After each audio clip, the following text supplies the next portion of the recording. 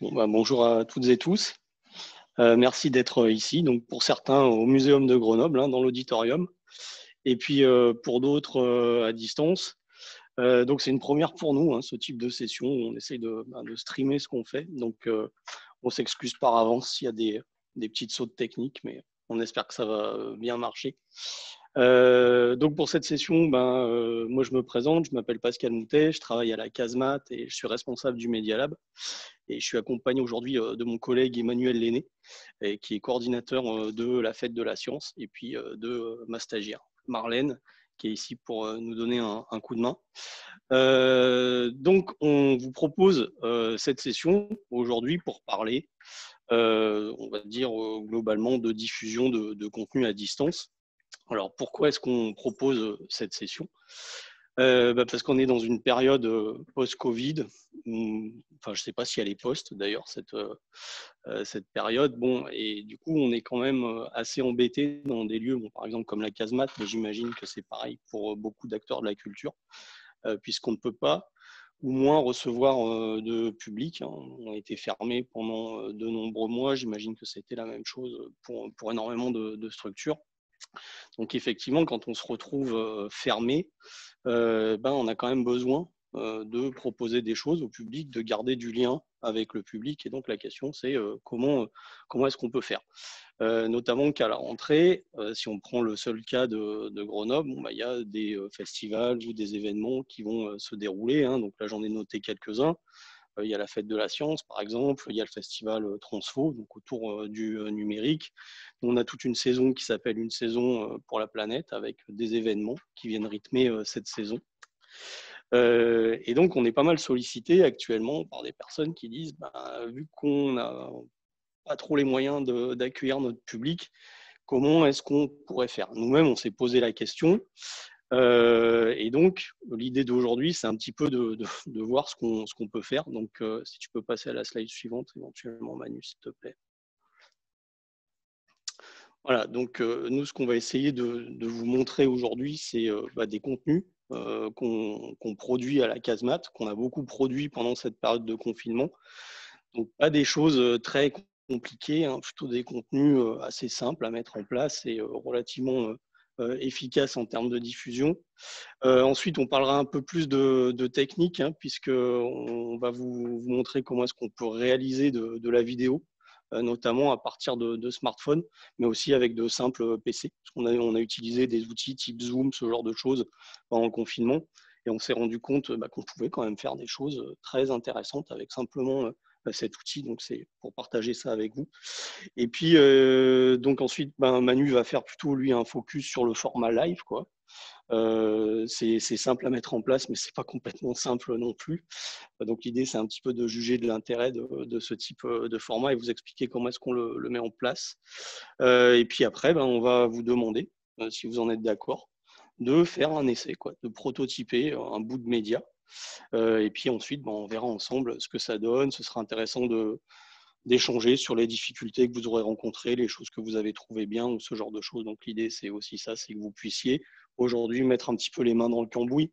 On va pas faire de vous des grands professionnels de l'image en, une journée, mais euh, du moins, euh, ça va vous permettre de vous dire, tiens, ça dans les temps à venir, je pourrais le faire, c'est pas si compliqué. Voilà. Donc voilà, je, fais un petit rappel du déroulé. Donc moi, je vais, euh, je vais parler euh, production de vidéo avec, euh, avec des, téléphones. ensuite, Emmanuel va parler plutôt du, format live, donc de, sous l'angle éditorial et aussi technique. ensuite, bah, vous allez vous tester. Et puis cet après-midi, on débriefera de ce que vous aurez fait. Et puis on pourra prolonger ça par un temps de, de questions-réponses si vous le souhaitez. donc, ouais, pour arriver à échanger avec les personnes qui sont à distance, bon, c'est assez simple. Vous avez euh, donc on utilise Zoom hein, euh, pour euh, pour cette session. Donc vous avez un onglet converser. Donc l'idée c'est que quand vous avez des questions, bah, vous attendez pas la fin de la session pour les poser. Vous les posez au fil de l'eau. Et donc Marlène qui est là me m'interpellera pour que je puisse y répondre. Et puis dans la salle, si vous avez des questions, vous levez la main, euh, et, puis voilà, donc l'idée c'est que ce soit un petit peu euh, interactif. Ok, est-ce que vous avez d'ailleurs euh, déjà des questions à distance ou, ou là? Non, il n'y a rien? Bon. Ok, bon, si euh, les choses sont à peu près claires sur le, déroulé de la journée, je vais vous présenter un petit peu le, Media Lab de, de, la casemate, la casemate aussi, puisque tout le monde ne euh, la connaît pas. Donc allons-y. Une question juste avant, est-ce qu'on va parler de broadcasting alors euh, oui, on va parler de, broadcasting, donc de, diffusion en fait. Hein. Comment est-ce qu'on diffuse quelque, chose? Donc oui, on va parler de ça. C'est plutôt d'ailleurs Emmanuel qui, va en parler. Moi, je vais en parler un petit peu mais euh, Emmanuel rentrera euh, beaucoup dans, le détail. Donc euh, oui, restez avec nous, nous allons parler de, broadcasting. D'autres questions? Non, c'est bon. C'est bon pour vous? Ok, go.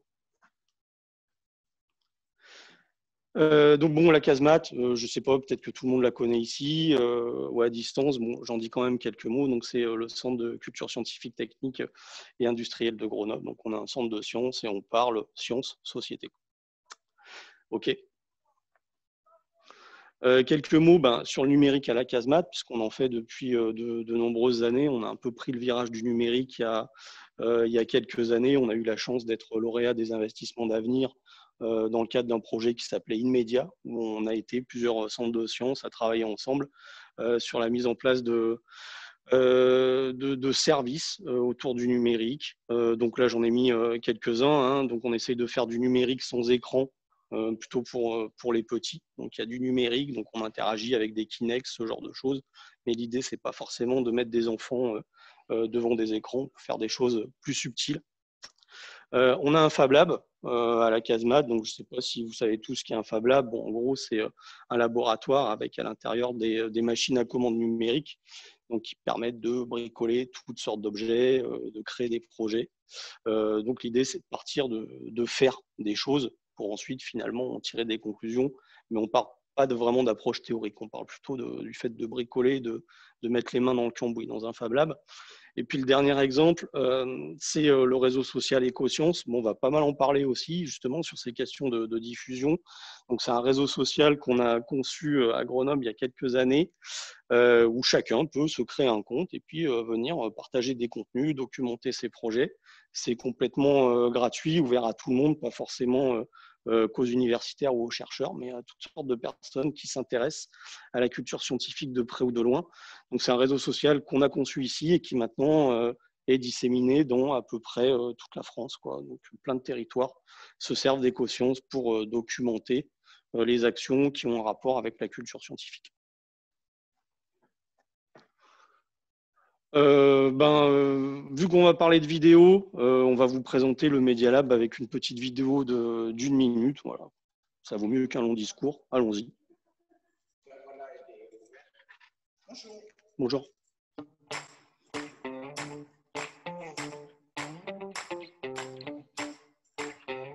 T'as pas de son?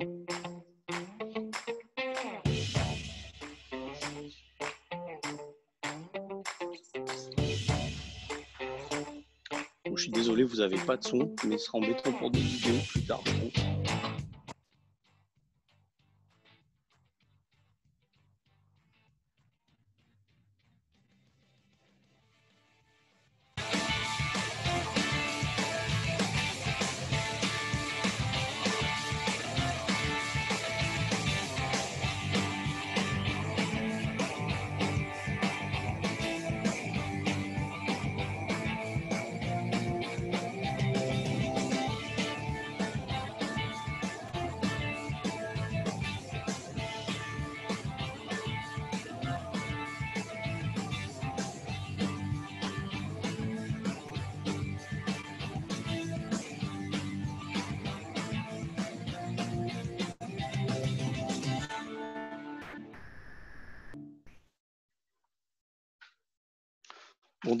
vous n'avez pas pu profiter à plein de la super musique. Euh.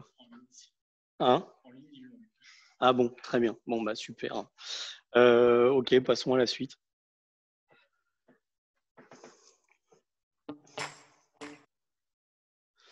Voilà, donc en fait, le Media Lab, c'est pas, euh, on va dire, c'est pas une chaîne de, télé, c'est pas une agence de com non plus. C'est plutôt une démarche euh, qui est constitué d'outils très simples qui nous permettent un certain nombre de choses, donc de documenter euh, des actions de CST. Bon, on le voit bien là avec la petite image à côté. On se sert beaucoup de smartphones en fait pour documenter des choses. J'y reviendrai. c'est aussi une démarche qui, qui, incite les gens à explorer des nouvelles façons de raconter les sciences. On se dit qu'on n'est pas obligé d'être tout le temps dans la vidéo bien monolithique, bien institutionnel avec mot du président et puis des jolies images, des fois un petit peu vides de sens. On pense qu'on peut faire des choses plus intéressantes, créer des, euh, des, formats qui vont être plutôt à destination euh, des réseaux sociaux, euh, plus légères, quoi, des fois. Donc, on essaie d'expérimenter un petit peu toutes ces choses-là.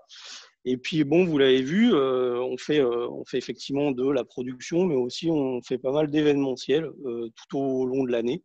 Donc, on organise chaque année une scientifique game jam. Donc, c'est un hackathon de, de création de jeux vidéo qui parle de science. On organise euh, des éditatons avec des Wikipédiens de la région. Donc là, l'idée, c'est euh, que, les gens viennent à, la casemate pour apprendre à se servir d'un outil comme Wikipédia. Et puis le reste de la journée, ben, on les invite à traduire des fiches Wikipédia, euh, à mettre des photos, à illustrer ou même créer des pages. On le fait notamment le 8 mars hein, pour la journée internationale des, droits des femmes. Et donc on parle femmes et sciences sur toute cette journée en apprenant à se servir de Wikipédia. on a plein de formats et à chaque fois, l'idée, c'est d'arriver à créer ensemble du contenu numérique. dans un Fab Lab, on construit plutôt des objets et dans un Media Lab, ben, on va bidouiller plutôt des, médias qu'on va ensuite diffuser. Donc ça, c'est aussi quelque chose d'assez important, c'est qu'on ne crée pas des contenus pour les laisser sur des disques durs ou ce genre de choses. On essaye de les diffuser, si possible, sous, licence Creative Commons. Et puis on les met ensuite sur YouTube, sur Ecoscience, sur Wikipédia, euh, sur euh, Fab Manager, qui est une plateforme plus de documentation technique de projet, etc. etc. Je n'ai plus mon PowerPoint.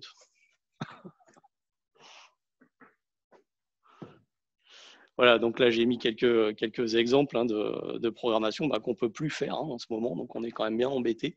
Et voilà, donc euh, les hackathons de, de, création de jeux vidéo, les éditatons, euh, des masterclass aussi.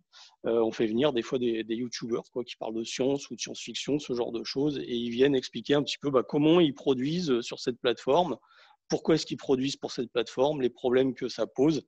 Ils nous montrent un petit peu l'envers du décor, puis c'est intéressant parce qu'ils font venir leur communauté finalement à la casemate, et, et donc ça fait un mélange qui est assez, assez intéressant.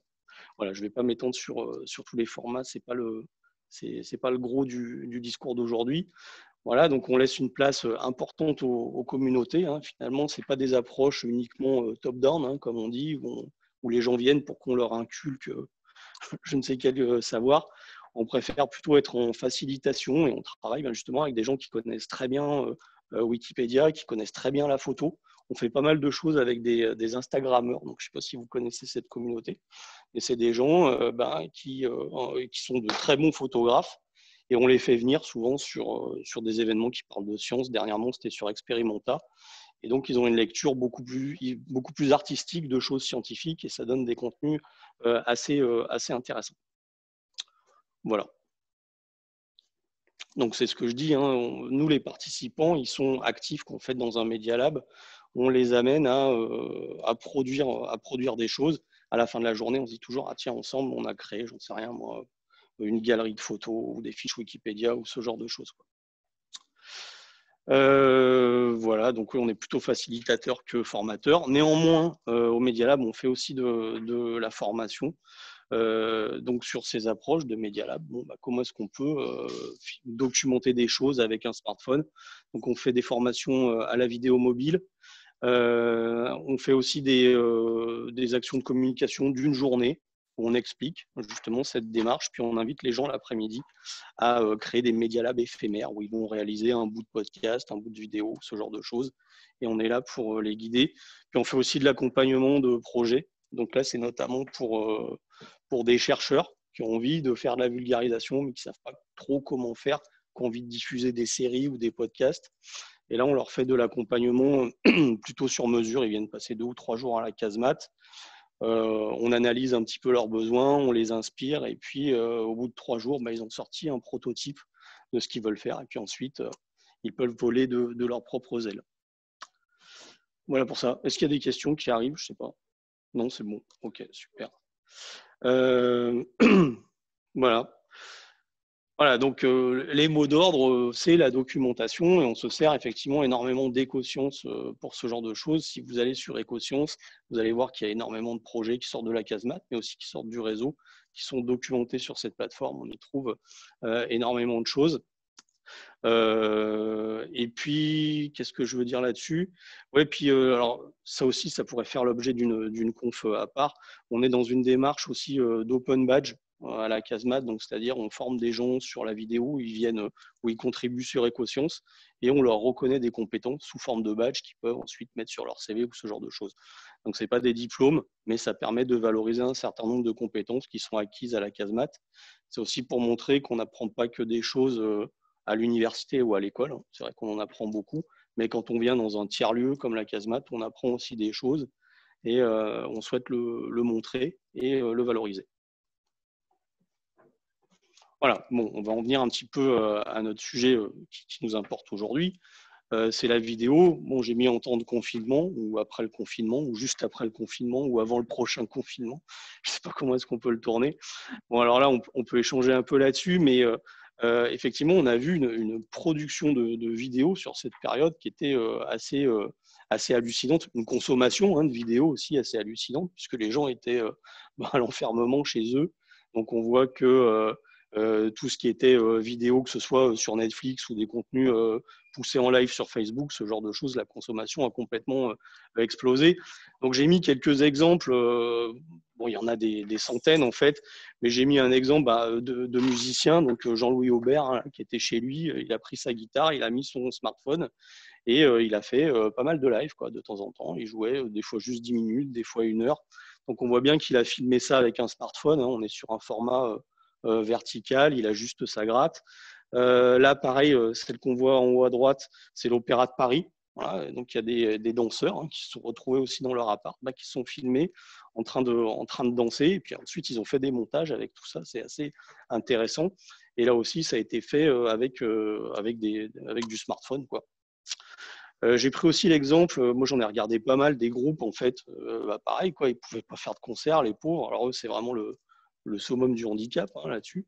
Et donc, qui via Zoom arrivaient quand même à, à répéter ou à avancer des morceaux ce genre de choses. Donc là, finalement, ils se sont servis de PC ou de, ou de smartphone.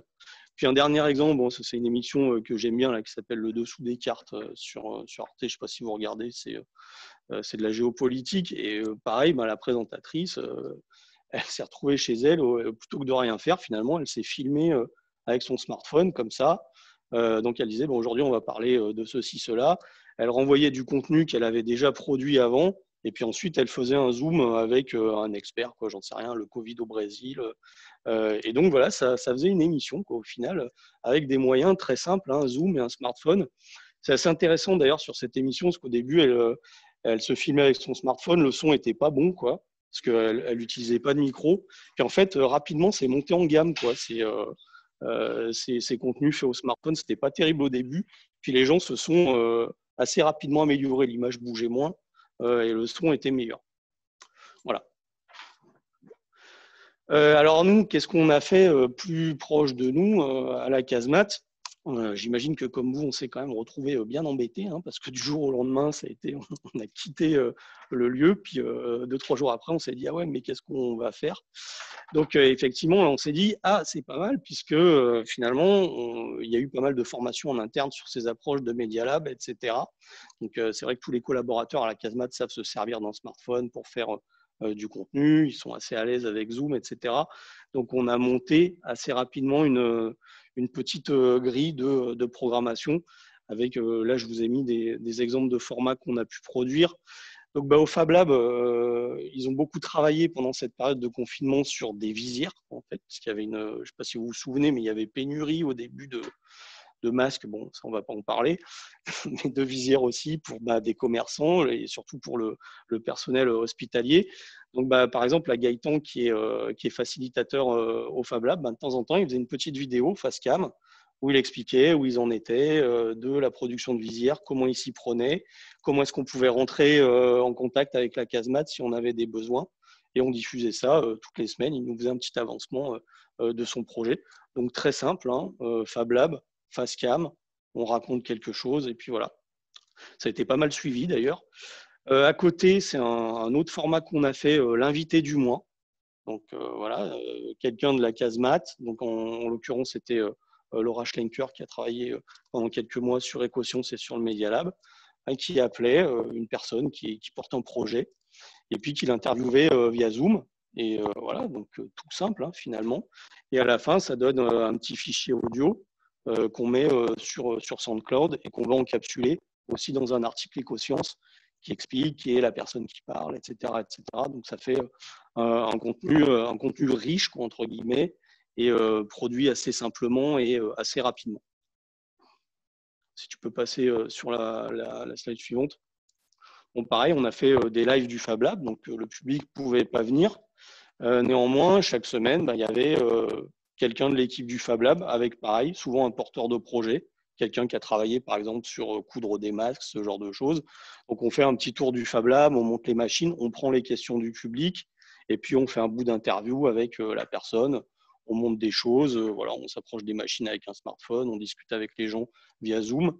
Ça, on peut l'enregistrer, ça fait un contenu aussi. On a fait de la formation aussi. Ne, ne va pas trop vite. Merci Manu. On a fait de la formation. Euh, là aussi, c'était intéressant parce que les gens avaient pas mal de temps. Donc, on faisait des formations avant en présentiel et euh, on s'est dit, tiens, est-ce qu'on peut les adapter avec des outils, encore une fois, ben, comme Zoom ou comme Jitsi, j'y reviendrai un petit peu après. Et ça a pas mal marché. En fait, on a fait une formation euh, il n'y a pas très longtemps sur un format qui s'appelle BookTube. Je ne sais pas si vous voyez quel est ce format. Il y a des médiathécaires dans, dans la place, donc j'imagine que vous voyez. On prend un livre, donc nous qui parlons plutôt de science, hein, puisqu'on est à la casemate, ou de science-fiction. Hein, d'ailleurs, on n'est pas on n'est pas fermé. Et puis la personne explique pourquoi ce livre est bien ou pourquoi est-ce qu'il n'est pas bien, ce qu'elle a aimé, elle en lit un passage, ce genre de choses. Donc on a fait de la formation euh, en ligne là-dessus.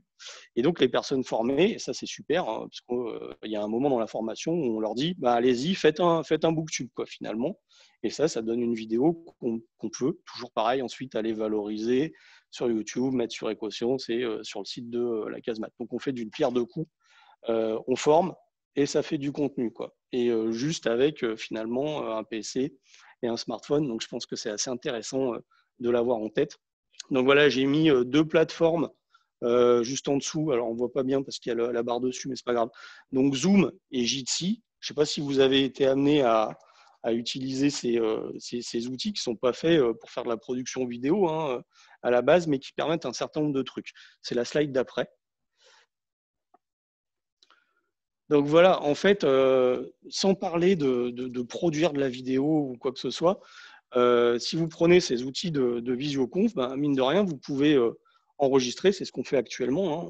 on, enregistre la conf, et puis ensuite, ben, on va pouvoir récupérer le son sur une piste séparée, il le fait automatiquement, que la vidéo, etc. etc. Donc ça, c'est déjà quelque chose d'intéressant, ça, ça, veut dire que ça ne s'efface pas, quoi, en fait.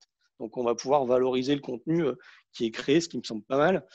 Euh, dans Zoom, euh, on peut créer plusieurs salles. C'est-à-dire que vous avez une salle principale et vous pouvez créer des, euh, sous-salles. Donc ça, c'est intéressant si vous êtes amené à faire de la formation ou des ateliers. C'est-à-dire que vous pouvez avoir tous vos participants dans une salle Zoom principale. Puis après, des temps, par contre, vous allez travailler en petits groupes, puis réunir tout le monde à nouveau dans la salle principale. Et en fait, ça, c'est pas mal parce que ça permet euh, un bon niveau euh, d'interactivité et pas que la personne soit uniquement passive. Moi, je savais pas qu'on pouvait faire ça avec Zoom et j'ai trouvé que c'était euh, assez intéressant. dernier point que, que j'ai noté, mais en fait, il y a, d'autres fonctionnalités qui, qui, sont intéressantes, mais on peut faire des arrière-plans virtuels dans Zoom. donc, en fait, si vous êtes sur un fond vert, vous pouvez incruster des, des choses derrière vous ou ce genre de choses. Et c'est pareil, quoi, d'un point de vue pédagogique, etc. Ça peut être intéressant, quoi, de, d'incruster euh, des choses très simplement. En fait, c'est un PowerPoint euh, en gros qui va s'afficher derrière vous. Et euh, donc là encore, de manière ultra simple, bah, vous pouvez créer, créer un contenu et en proposer au, public. Est-ce qu'il y a des questions sur ces Zoom et ces Jitsi et ces machins? Ok.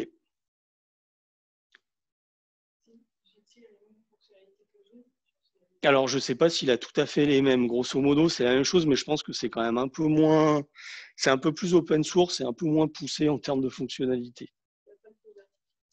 Ouais. Je ne sais pas si tu peux diviser en sous-salles aussi, en Jitsi ou pas. Je ne suis pas très sûr. Tu peux le faire? Parce que tu peux créer des salles à la volée de manière très simple. Euh, c'est une interface web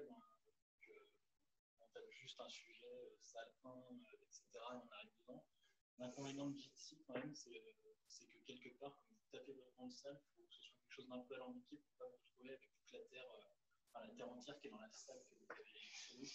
Une salle réunion 1, vous avez tous les gens qui ont utilisé une réunion 1 pour une, salle qui, qui, se retrouve dans votre réunion. On a eu quelques cas comme ça, dans des réunions d'équipe à la Casmat, avec des gens qui se retrouvent invités dans une réunion. Voilà, donc euh, sur Zoom, on peut protéger les accès aux salles euh, par, euh, par mot de passe. Hein. Voilà, ça peut être utile aussi. Donc voilà, nous, c'est un peu des plateformes qu'on a, qu'on a découvertes pendant le confinement et qui sont pas mal. Ouais, j'ai des questions. Une question de la part du chat, c'est pour revenir sur le Media Lab, où se trouve le Media Lab Est-il ouvert au public actuellement? Et si oui, quels en sont les horaires? Euh, alors, en fait, euh, le, Media Lab, ce n'est pas, euh, pas spécifiquement un lieu. J'aurais tendance à dire que le Media Lab, d'un point de vue technique, il se trouve dans une petite armoire à côté de mon bureau au, au, fond de la casemate. Donc, ce n'est pas un studio, en fait, avec des caméras ou ce genre de choses. Par contre, et ça, il faut échanger sur projet, on peut mettre à disposition du matériel. Alors, de quoi est-ce qu'il est constitué Notre Media Lab, je vais y venir un petit peu après, mais il est constitué de matériel simple c'est-à-dire des iPads en gros, euh, des smartphones, des micros, euh, des pieds, ce genre de choses. Donc, euh, par contre, on est, on est ouvert à mettre à disposition notre matériel. Donc, les horaires, il n'y en a pas vraiment. En fait, le mieux, c'est de me mettre un mail et de prendre rendez-vous avec moi ou avec donc Marion Sabourdi, qui est ma collègue qui travaille sur Media Lab avec moi. Voilà, j'espère que ça répond. Oui, j'ai une question.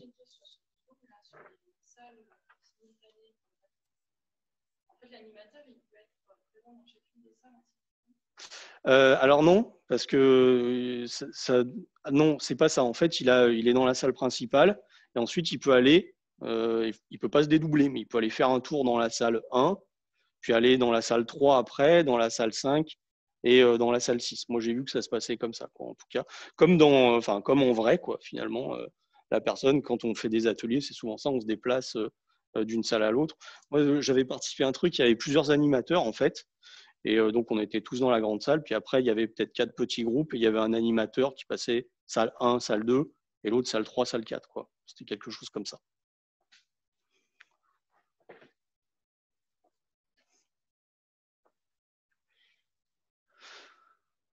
alors, là, on va parler euh, un peu plus euh, éditorial et un peu plus technique. Donc là, je vous montre des, exemples de formats qu'on produit euh, au Media Lab, euh, c'est des choses finalement relativement euh, standards, hein, j'aurais tendance à dire. vous voyez, on fait des mini-reportages et ce que j'appelle moi de la documentation. Donc là, l'idée, c'est quand on accueille, par exemple, j'en sais rien, un stage au Fab Lab ou etc. Avant, bon, ben, on faisait le stage et puis voilà, c'est plié, merci, au revoir. Et on s'est dit, c'est quand même dommage, quoi, parce qu'il se passe plein de choses intéressantes pendant ces, ateliers, etc. Pourquoi est-ce qu'on, finalement, on n'irait pas faire quelques images, on prendrait un petit peu des interviews, des personnes qui viennent se former ou des gens qui ont conçu cet atelier. Et hop, là, ça nous donne une petite capsule, toujours pareil, petite capsule, petit article éco-sciences on le met dans un dossier, quoi, des fois, voilà, les stages au Fab Lab. Et, euh, et voilà, donc ça, c'est assez euh, vite fait, quoi. Et euh, ça, marche, ça marche assez bien. Et c'est surtout en période de bilan que moi, je trouve ça super. Parce qu'on me dit, bah, à la fin de l'année, on dit, qu'est-ce que tu as fait en termes de Media Lab cette année? Donc, plutôt que de devoir me farder un document de, 15 pages, je vais récupérer en fait des dossiers qui ont été publiés sur EcoScience et c'est ce que je montre. Et les gens d'ailleurs, ils comprennent beaucoup mieux, quoi, parce qu'ils disent mais c'est quoi un Fab Lab, vous faites quoi là-dedans? Quand vous montrez une vidéo, en fait, on a compris, quoi. Il n'y a pas besoin de, conceptualiser les choses, c'est beaucoup plus immédiat. Je vais vous en montrer une là qu'on a fait il n'y a, pas longtemps pour vous montrer quand même un peu ce qu'on peut faire avec un, avec un smartphone. Donc si tu peux cliquer sur le premier là, euh, tu vois, mini reportage documentation, là, en haut à gauche, s'il te plaît. Ça ne correspond pas à la bonne vidéo, mais euh, voilà. Donc là, c'est Marlène qui est là, qui, qui, a fait ça avec un smartphone. Alors, je sais pas suis Kevin Lesley, ingénieur spécialisé en énergie. Euh, je travaille actuellement avec la compagnie Organic Orchestra sur euh, la création et la tournée d'un spectacle euh, nommé Oniri 2070. Et je suis en résidence à la Casemate pour le projet Pop-Up Box.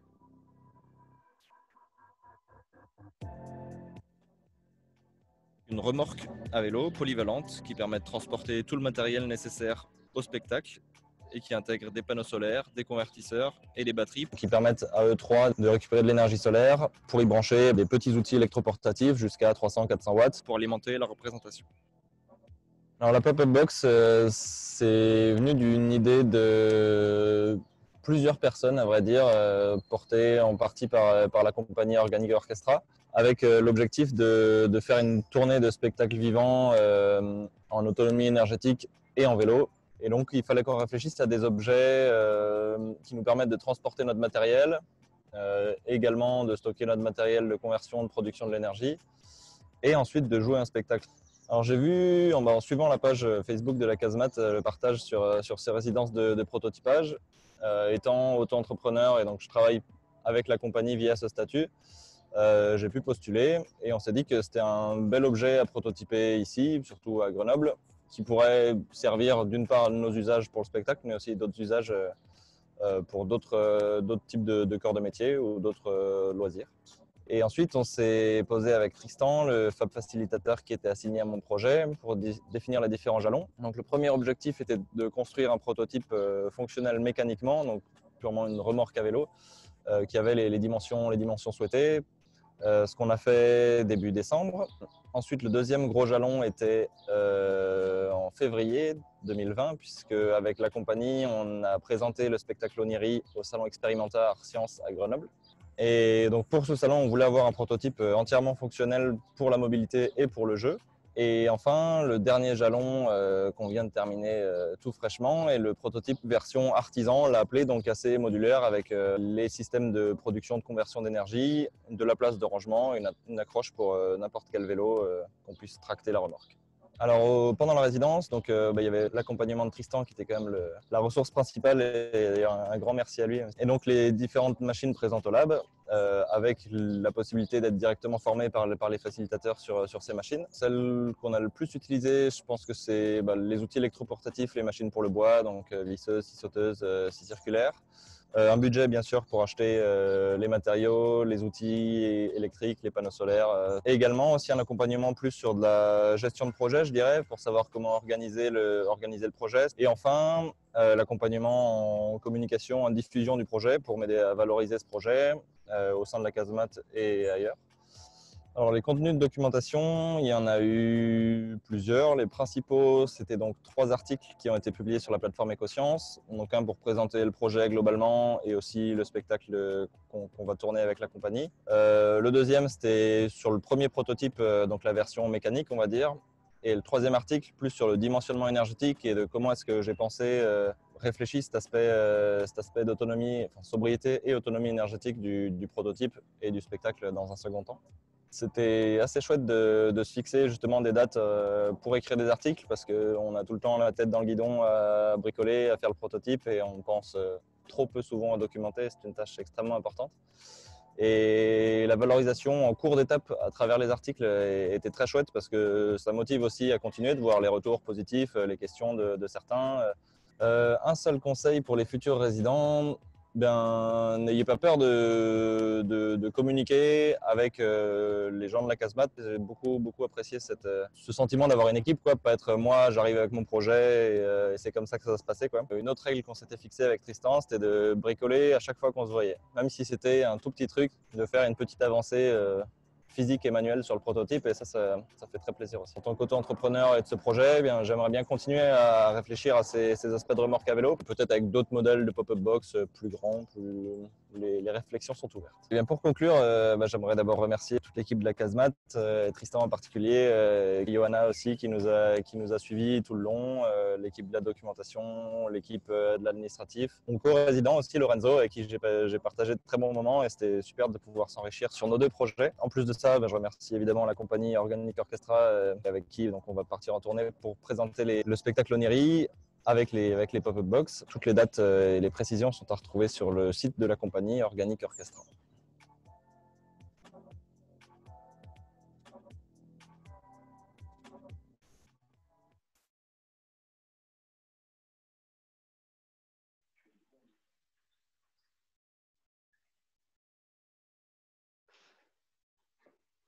Ok. Euh, c'est bon, Manu? Ok. Donc, bon, là, c'est un exemple parmi euh, je ne sais pas combien d'autres de vidéos qu'on sort. Maintenant, on essaye de s'astreindre à ça. C'est-à-dire, on a un projet un peu, un peu, on va dire, d'envergure. Je mets des guillemets. On essaye à chaque fois de faire une vidéo. Donc, ce n'est pas de la com pure. Il y a des aspects de com là-dedans. En tout cas, voilà, nous, ce qu'on a en tête, c'est quelqu'un qui se demande ce qu'est une résidence de projet dans un Fab Lab, qu'est-ce qui se passe, qu'est-ce que la personne a fait? Et eh ben, on a, on a la vidéo. Et on demande aussi aux résidents, en fait, au fur et à mesure de, leur avancée, de faire eux-mêmes. On leur montre comment on fait, des petites vidéos, etc. Et vous voyez, dans la vidéo qu'on a vue, il y a des vidéos qu'on n'a pas produites nous. On a pris des bouts de choses qui avaient été faites par, par ces personnes-là. Vous voyez un petit peu ce que ça peut donner une vidéo faite avec un smartphone en termes de qualité d'image ou ce genre de choses. On n'est pas sur euh, du cinéma, euh, pas du tout, mais on est quand même sur des images qui sont, on va dire, de mon point de vue, euh, propres, dynamiques. donc ça, ça, ça, fait le boulot de documentation. ça le fait bien avec, avec des smartphones. Je montre un, tout petit peu d'autres formats qu'on fait. on fait du tutoriel. Euh, de temps en temps, pas assez à mon goût, mais euh, on y travaille. Donc c'est vrai qu'on fabrique pas mal d'objets dans les Fab Labs. Donc vous voyez ce que c'est que le tutoriel, hein. c'est montrer aux gens comment, euh, bah, comment le refaire chez eux s'ils ont envie. Donc là aussi, c'est bien adapté pour, pour être filmé avec, avec un smartphone. On peut s'approcher bien des mains de la personne qui est en train de réaliser. et puis c'est facile à produire. On fait des booktubes euh, assez régulièrement. Donc là, on donne la, parole à des personnes de, notre réseau. On leur dit ben, Tu n'as pas lu un bouquin intéressant ces derniers temps qui parlerait de science Ah, si, ah bah, viens faire un booktube. Voilà. Donc, euh, il y a plusieurs modalités. Soit la personne, elle le fait euh, depuis chez elle en autonomie parce qu'elle sait faire un petit peu de montage, etc. Ou sinon, bah, elle vient du côté euh, de, la casemate. On va souvent sur la, sur la Bastille. Et puis, on, filme la personne qui fait son booktube. Donc, elle l'écrit un peu avant, on peut lui donner un coup de main. Et puis, elle vient présenter son livre. Ça marche plutôt pas mal. On a des formats qui sont plus, qu'on adapte un peu plus aux, réseaux sociaux. Euh, j'en reparlerai euh, tout à l'heure, mais euh, on fait pas mal de vidéos un peu face caméra. Je ne sais pas si vous voyez les brutes ou ce genre de choses, les combinés. Alors, c'est pas forcément. On essaye de, faire des vidéos qui soient aussi intéressantes en termes de contenu, pas que ce soit juste rythmé. Et c'est plutôt quand même intéressant ces formats en carré et tout, parce que c'est bien adapté à des diffusions notamment sur Instagram ou sur Twitter, ça passe plutôt pas mal. Donc on fait de la vidéo, on filme directement en carré en fait, c'est-à-dire qu'on recadre pas derrière. Et puis euh, on sous-titre la vidéo, on met euh, quelques, plans de coupe et ça fait là encore des, formats qui, sont vite produits, qui sont bien regardés, qui sont faciles à diffuser. Donc voilà, ça aussi c'est une idée à garder en tête. Ça ne demande pas beaucoup, beaucoup de moyens. On fait du live aussi. Euh, sur Facebook, euh, sur des événements. Voilà, je sais pas, il y a des doctorants qui sont en train de présenter justement euh, leur thèse et qui cherchent des petits camarades pour coder un jeu vidéo autour de ce travail de thèse. généralement, on, filme ce que dit le doctorant et puis, et puis on le diffuse quoi, via, via Facebook Live. Ça aussi, hein, c'est Manu vous parlera de, choses plus techniques sur live, mais le live, ça peut être très très simple en fait. C'est-à-dire vous mettez un smartphone sur un pied, voilà, vous faites un cadre euh, un peu, un peu joli. Euh, hop, vous appuyez sur le bouton euh, live et, ça diffuse. Quoi. Donc ça peut être aussi quelque chose de, très simple. Il faut avoir à peu près un bon micro, pas bouger. Et à partir de là, vous avez, vous avez quelque chose qui est, d'ailleurs aussi bien regardé. Quoi. Voilà, bon, après, on... alors celui-là, je vais peut-être un peu moins en parler aujourd'hui, mais on essaye de faire pas mal de choses autour des stories Instagram aussi, parce que c'est des, c'est des formats qui, euh, qui, sont assez intéressants, qui permettent beaucoup de créativité, quoi, en fait, parce qu'on peut mélanger du texte avec de la vidéo, avec des tags, avec des quiz, etc. Donc il y a des choses assez intéressantes à faire.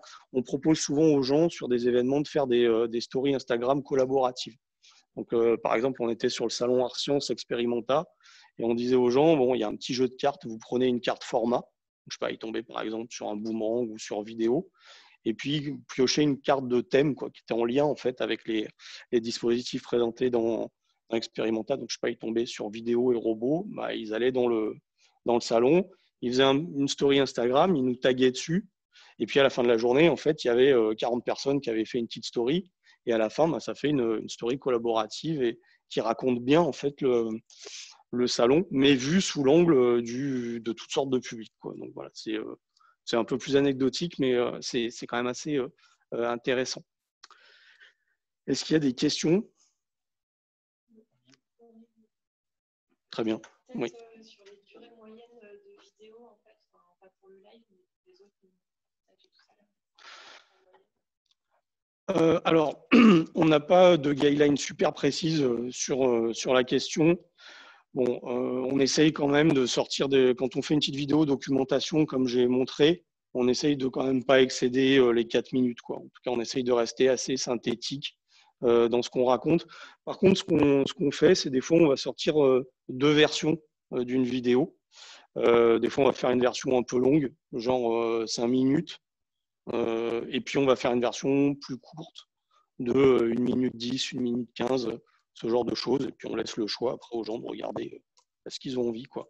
Ça, ça peut être pas mal aussi de, à partir d'une vidéo, de sortir plusieurs formats. Euh, c'est bien quoi.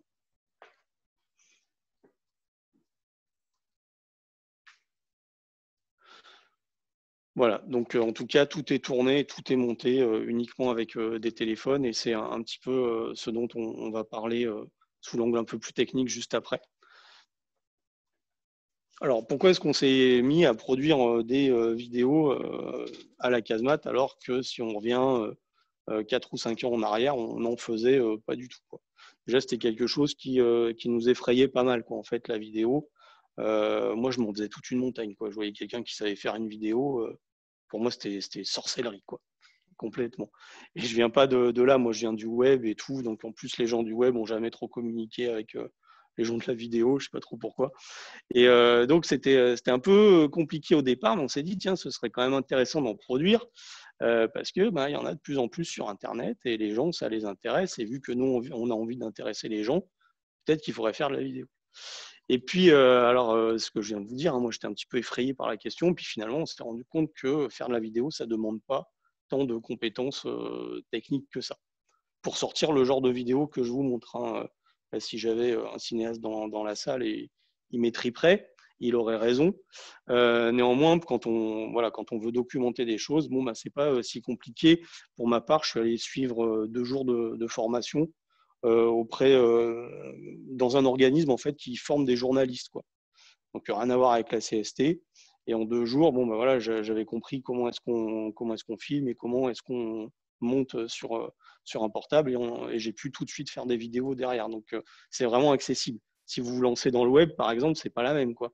Euh, en deux jours, bon, vous savez à peu près rien faire, alors qu'en vidéo, c'est bon, vous êtes, euh, vous êtes opérationnel. Qu'est-ce que je dis d'autre après? Euh, J'ai pas une question, mais j'ai une remarque de la part du chat qui dit que le montage demande tout de même de la ressource. Euh, alors, quel type de ressources, euh, ce n'est pas précisé, mais euh, qui, signifie que le montage, enfin, qui pour lui, le montage n'est pas accessible comme ça facilement. Est-ce que tu as une réponse à faire à ça? Oui, alors on va, on va parler montage tout à l'heure, mais c'est pareil, effectivement, pour faire du gros montage de, de, films, etc., avec des logiciels qui tournent sur PC ou sur Mac comme Premiere, etc., oui, je suis d'accord, c'est compliqué. Est-ce que le montage, euh, en termes de ressources, est-ce que ça prend du temps? Oui, ça prend un peu de temps, c'est sûr. Par contre, c'est ce que je montre après, c'est qu'il y a des applis qui permettent de faire du montage euh, de manière assez simple, qui tournent plutôt sur des iPads ou sur des iPhones et qui ne sont pas des, euh, enfin moi ce que je considère hein, comme des usines à gaz, comme Premiere Pro, etc. Où là, bon, c'est compliqué quand on se retrouve devant l'interface, qu'on n'est pas quelqu'un du métier, on a plus envie de fuir quoi que, de rester devant euh, l'ordinateur. Mais je montrerai aussi qu'il y a des applications qui, euh, existent et qui permettent de faire du montage directement sur, euh, le téléphone. C'est pour ça qu'on parlera aussi de taille d'écran de téléphone, parce qu'on peut être amené à faire du montage directement là-dessus. Et là, par contre, les applis, ben, elles sont beaucoup plus simples, elles sont beaucoup plus intuitives, puisqu'elles doivent rentrer en fait dans, dans, des petits écrans. Alors, on ne va pas faire des montages de, de folie, mais on, voilà, le, montage là, sur la vidéo d'avant, ça a été fait avec euh, une application qui tourne sur iPad. Quoi. On n'est pas allé sur, euh, sur un PC. Et euh, bon, Marlène pourra en parler, elle a, elle a fait énormément de, justement de, production de vidéos et de montage ces derniers temps, et elle a tout fait avec, avec un iPad qu'on n'a pas branché de PC. Euh, non, mais euh, c'est mieux. J'y reviendrai, j'expliquerai pourquoi. On aime bien se chambrer là-dessus euh, en interne, mais j'expliquerai bon, pourquoi iOS est pas mal. J'y viens juste après, en fait. donc, qu'est-ce que je disais? Ouais, c'est bon, non, je crois que j'en ai fait le tour. Vas-y, reviens. Non, peut-être, j'avais peut-être marqué des, des, choses géniales, je sais pas. Oui, voilà, effectivement, ça coûte. En fait, c'est un média qui voilà, avec un téléphone d'occasion, euh, genre un, iPhone 7, ça suffit. Euh, ça vaut euh, une centaine d'euros hein, maintenant. avec un iPad, si on veut être vraiment confort, bon, bah voilà, avec ça, vous avez un. Techniquement, vous avez un Media Lab. Je vais aller un peu plus loin, mais avec ça, c'est suffisant pour produire. Après, c'est du temps. Hein. Il faut y passer un peu de temps, mais c'est pas forcément un temps de dingue. Finalement, entre écrire un article un peu long et faire une vidéo. Ah, au début, hein, d'accord, vous expérimentez la vidéo, vous allez faire des erreurs, ça prend du temps. Mais une fois que par contre vous avez le coup de main pour faire votre interview, mettre vos plans de coupe et votre titrail, ça peut être vachement plus rapide que que d'écrire un truc un peu long. Quoi. Donc c'est un média qui est intéressant pour ça aussi, de mon point de vue. OK? Alors maintenant, vais, euh, on va parler justement un peu plus technique et je vais vous faire un petit retour d'expérience sur comment euh, nous, on produit euh, des vidéos Media Lab. Donc, ça n'est pas, parole d'évangile, hein, mais c'est pour vous montrer en tout cas des, des, possibles en espérant que ça vous inspire pour la suite. OK. Alors, on en arrive à la question du téléphone et qu'est-ce qu'il faut prendre ou éviter de prendre. Alors, moi, j'ai tendance euh, à dire aux personnes que c'est pas mal quand même de, prendre des iPhones euh, pour des raisons.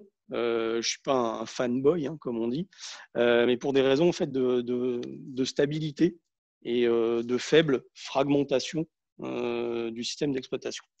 Ce que je veux dire par là, c'est que si vous prenez un système Android, vous avez en fait énormément de versions d'Android qui circulent elles sont assez souvent surcouchées, comme on dit, par des opérateurs, ce genre de choses. Donc le problème, c'est que les gens euh, bah, qui développent des applications qui vont permettre de filmer ou de faire du montage, eh ben, souvent leurs applications, ils ont du mal à bien les faire fonctionner sur Android parce que d'une version à l'autre, ce n'est pas les mêmes rendus, etc. etc. Chez Apple, euh, il faut constater qu'on n'a pas ce problème. Il y a une version euh, d'iOS qui existe et elle est très peu fragmentée. Les gens mettent quand même assez euh, souvent à jour leur, euh, leur téléphone. Donc, ce qui fait que les éditeurs, ah, ben, ils ont une plateforme pour développer qui est beaucoup plus stable. Et vous, après, en tant qu'utilisateur, quand vous utilisez ces applications, eh ben, elles vont moins planter, euh, logiquement, sur côté Apple que côté Android. Voilà. donc voilà, je vais parler de cette application après, mais ça c'est super important, c'est que iOS est super compatible avec une application comme Filmic Pro, donc qui permet de euh, débrayer beaucoup de choses dans le téléphone et de faire de la vidéo euh, professionnelle. Bon, après, il y a des gens euh, qui font de la vidéo avec Android et ça se passe très bien. Voilà, donc c'est complètement une possibilité aussi. Mon avis, c'est plutôt ça. Après, si on va sur le type de téléphone particulier employé, nous, au, Media Lab, on est sur, on commence à avoir des, iPhone 8 plutôt, et si vous avez des iPhone 7 qui doivent dater d'il y a 6-7 ans, alors des 7 plus, tant qu'à faire, parce que la, taille d'écran est un peu plus grande que sur les 7 ou les 8 normaux. Donc là, euh, sur un écran comme ça, il faut quand même avoir des bons yeux, mais vous pouvez euh, filmer et monter directement euh, sur ces tailles d'écran. Donc voilà un petit peu moi ce que je, je privilégie. encore une fois, voilà, Android, ça marche, ça marche pas mal aussi. Des questions sur euh, Android, iOS, non? Non, rien. Vous en avez d'autres, non? Voilà, donc en tout cas, euh, c'est abordable, hein, même côté euh, Apple, puisque ce que je vous dis, hein, un iPhone 7 qui date un peu, ils sont super bien pour faire de la vidéo et on les trouve vraiment à pas cher du tout. OK. Bon, voilà, donc euh, ce qui est intéressant maintenant avec euh, le téléphone, et c'est des choses qu'on n'aurait pas dit euh, il y a quelques années, c'est que vous avez des capteurs quand même qui permettent de faire de la vidéo ou de la photo qui sont, qui sont très performants. Alors, ce n'est pas aussi performant que si vous prenez le, dernier Canon, machin truc. Ça a ses avantages aussi. Hein. Le Canon, vous pouvez changer les, objectifs, ce genre de choses. Après, c'est pas donné hein, non plus finalement. Et puis, il faut savoir s'en servir quoi, du Canon, sinon euh, ça donne rien. Quoi. Ça pardonne pas. Quoi. C'est du matériel, on va dire, euh, euh, professionnel. Mais il y a quelques années, on ne pouvait pas filmer avec un smartphone. Ce n'était pas possible. Alors que maintenant, vous regardez ce que ça vous sort en vidéo. Et là, je parle encore des iPhone 7, mais si on prend les dernières versions d'Android ou, ou d'iOS, vous regardez les images que ça fait, bon, c'est assez bluffant. Alors effectivement, un, un, professionnel, vraiment, il va dire, ouais, mais là, tu vois, il y a une déformation d'image, ce genre de truc et il a raison. Néanmoins, encore une fois, sur ce qui nous intéresse, nous, c'est-à-dire diffuser vite, propre et bien, bon, c'est pas grave, quoi. Si tu peux avancer un peu, Manu.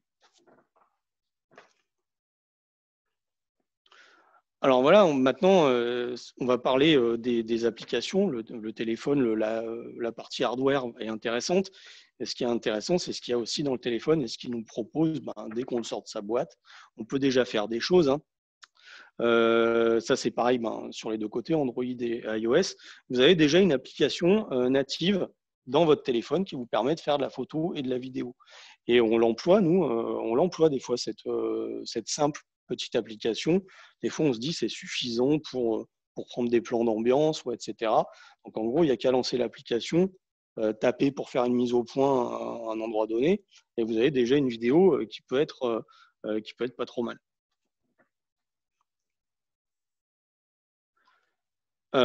donc voilà, ça c'est c'est la chose basique, mais qui coûte rien hein, finalement, et qui permet quand même de, sortir du contenu qualitatif. Et là, vous avez encore mieux, mais payant, et celle-là, c'est vraiment l'application de, de, référence et qui s'appelle euh, Filmic Pro. Elle est disponible d'ailleurs sur iOS et sur Android. C'est là euh, d'application. Elle crache un peu plus sur Android, d'après ce que je peux lire, mais en tout cas, elle, fonctionne. Alors, je ne sais pas ce qui se passe des fois côté Android. Des fois, ça disparaît ou ça réapparaît. Vous êtes sur quoi là euh, Je suis sur Android et ça me propose un truc par contre qui s'appelle Filmmaker Pro. Non, c'est sur Android, ça dépend de la version, on parlait des surcouches tout à l'heure d'Android, ça dépend de la version d'Android que vous avez et de la surcouche éventuellement qui est liée à votre matériel et au smartphone que vous avez. Et par exemple, euh, Pascal disait que se, se, s'envoie des vannes là-dessus. Euh, je dois avoir le seul téléphone de la Casmac qui ne permet pas d'installer Filmic Pro euh, à titre perso. Donc, il faut trouver voilà, alors c'est ça qui est vraiment embêtant hein, quand même côté Android. Euh, enfin, c'est, enfin.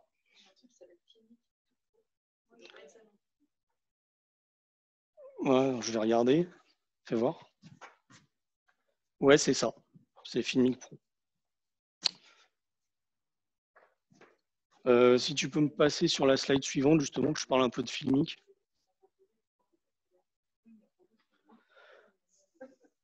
Alors, Filmic, c'est payant euh, comme application, mais euh, c'est quand même abordable. Hein. Je crois qu'elle vaut une vingtaine d'euros. Euh, c'est pas sur abonnement ou quoi que ce soit. Vous payez une fois et vous avez euh, une caméra, on va dire pro, enfin les fonctionnalités d'une caméra pro dans votre iPhone. Donc, c'est ce que je note un peu ici. donc, avec ça, vous pouvez régler des mises au point de manière vraiment super précise pour le coup. Vous avez la main sur votre luminosité, ce que vous permet pas une application euh, de base dans votre téléphone. Euh, c'est lui qui calcule la luminosité, point barre. Quoi. Vous ne pouvez pas faire de manuel là-dessus. Euh, vous pouvez ben, régler les ISO, hein, c'est pareil, parce que des fois c'est un peu sombre, alors on a envie d'éclaircir un peu l'image. Là, vous pouvez le faire dans Filmic, vous avez cette fonctionnalité. Vous pouvez faire des balances de blanc si vous voulez. Et euh, il y a un truc qui est tout bête, mais qui est, quand même vachement bien dans, ces applications, c'est euh, le monitoring du son, qui est tout en bas. C'est-à-dire que si vous faites une interview avec une application euh, native, vous faites votre interview, mais il n'y a rien qui vous dit que le son n'est pas trop fort ou pas assez fort, ou même qui marche. Quoi. Donc ça peut arriver, vous faites une interview de quelqu'un qui est de passage, vous dites, bon, bah, ça doit marcher. Et puis la personne, euh, elle part, puis vous réécoutez ce que vous avez fait, puis en fait, le son, il n'est pas bon. Et le son, s'il n'est pas bon sur une vidéo, c'est pire que si l'image n'est pas bonne, quoi, en fait. Euh, c'est irregardable, quoi, de regarder une vidéo avec un mauvais son. Donc, Filmic, c'est vachement bien parce qu'en permanence, vous avez un vue-mètre qui vous dit, bon, bah voilà, le son que je suis en train de prendre, je suis bien en train de le prendre depuis le micro. Et, euh, il ne sature pas, et il n'est pas trop faible, etc., etc. Donc, on est à peu près sûr que tout va bien se passer. Donc, vous voyez, c'est un petit peu ça qui est, qui est différent. Donc, pour une vingtaine d'euros, euh, moi, je trouve que ça vaut euh, carrément le, le, coup d'investir. Euh, j'ai une précision de la part du, du, chat. Sur Android, ça coûte 13 euros pour les téléphones qui du coup, sont compatibles et le voient apparaître dans le, dans le store.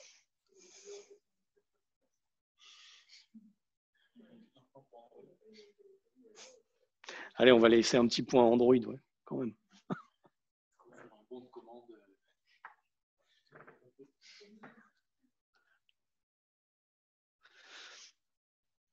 Donc voilà, ça c'est euh, ce qu'on utilise, nous en tout cas euh, côté Casmat pour filmer, c'est Filmic hein, euh, qu'on utilise et c'est vraiment devenu un peu le, standard du marché. Il y a même des cinéastes hein, qui, filment avec, avec Filmic. Là, je, voyais, c'était sur le dernier Le Louche, ils ont employé que des smartphones et, Filmic quoi en fait.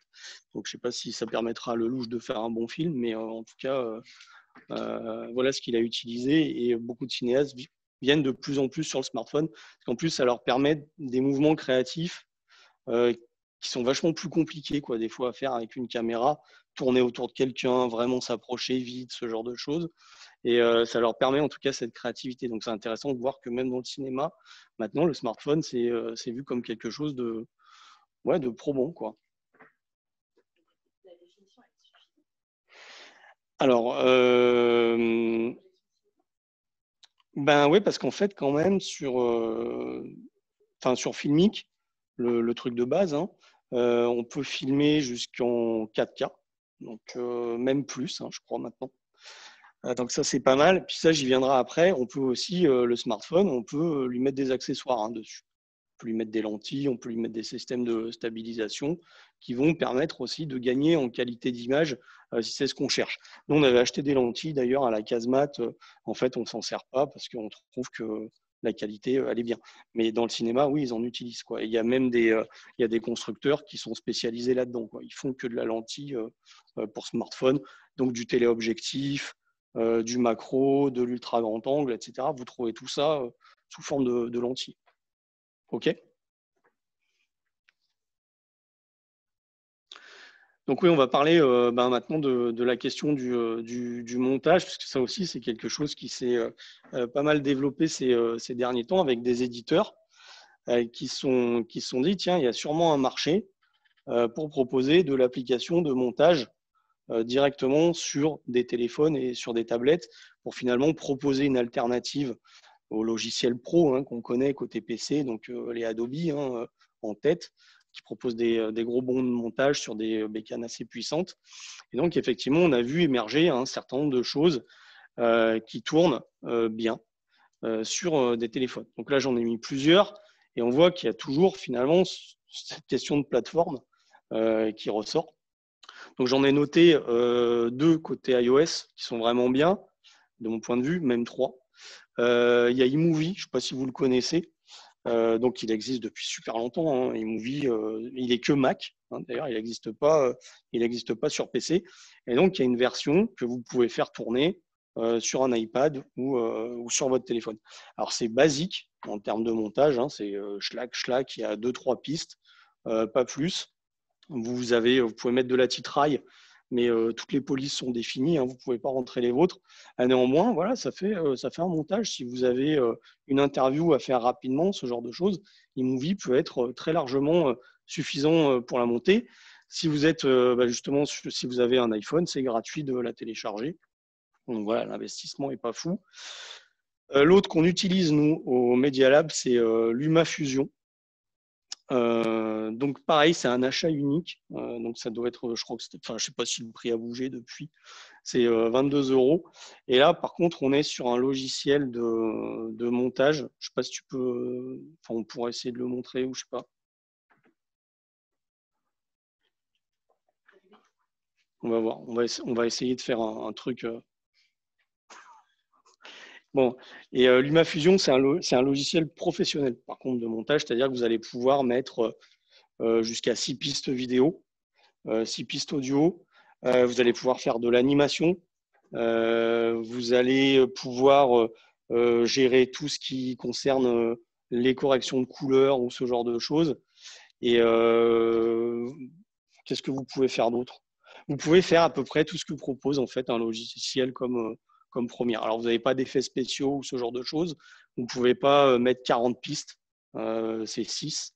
Mais ça, c'est euh, pour nous, c'est très très largement suffisant hein, pour, pour travailler. Voilà, donc bah là, Marlène nous montre bah, le projet hein, que vous avez vu. Donc elle est dans, dans LumaFusion. Donc vous voyez, c'est que en plus, c'est assez sympa parce que voilà, on, on dit tiens, je travaille sur tel rush, on met son doigt à tel, tel endroit pour le sélectionner, on met un cut en appuyant sur un petit bouton. C'est assez simple. Si vous travaillez sur iPad, euh, je vous conseille ça. D'ailleurs, alors là, pour faire du montage, c'est un, un pencil, hein, ça, s'appelle. Et donc là, euh, pour sélectionner vos rushs, faire des cuts, des machins, c'est euh, super bien. Quoi. Donc, je n'irai pas jusqu'à dire que ça rend le montage ludique, parce que moi, j'aime pas trop ça. Mais c'est quand même vachement, vachement plus sympa de, de travailler avec, avec ça. J'avais un stagiaire avant, lui, il travaillait même pas avec ça, il faisait euh, tout au gras du pouce, quoi, comme il me disait. euh, il travaillait que comme ça, mais c'était bien aussi.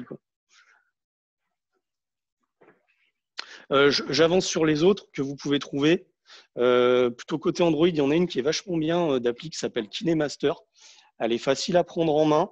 Vous pouvez la télécharger. Je pense que là, elle est disponible sur pas mal de versions d'Android quand même. Vous pouvez commencer à travailler avec. Le seul problème, c'est quand vous allez exporter votre vidéo, il va vous mettre une, euh, une trademark euh, Made with KineMaster sur la vidéo. Mais bon, si vous voulez vous entraîner, c'est pas très grave. Et si vous voulez enlever cette, euh, cette trademark, il bah, faut vous abonner à KineMaster. C'est pas très cher, c'est une cinquantaine d'euros par an. Et puis là, bon, bah, voilà, vous, pouvez, enlever la, watermark. Une autre bon, qui se développe énormément parce qu'il y a une puissance de frappe très grande hein, chez Adobe.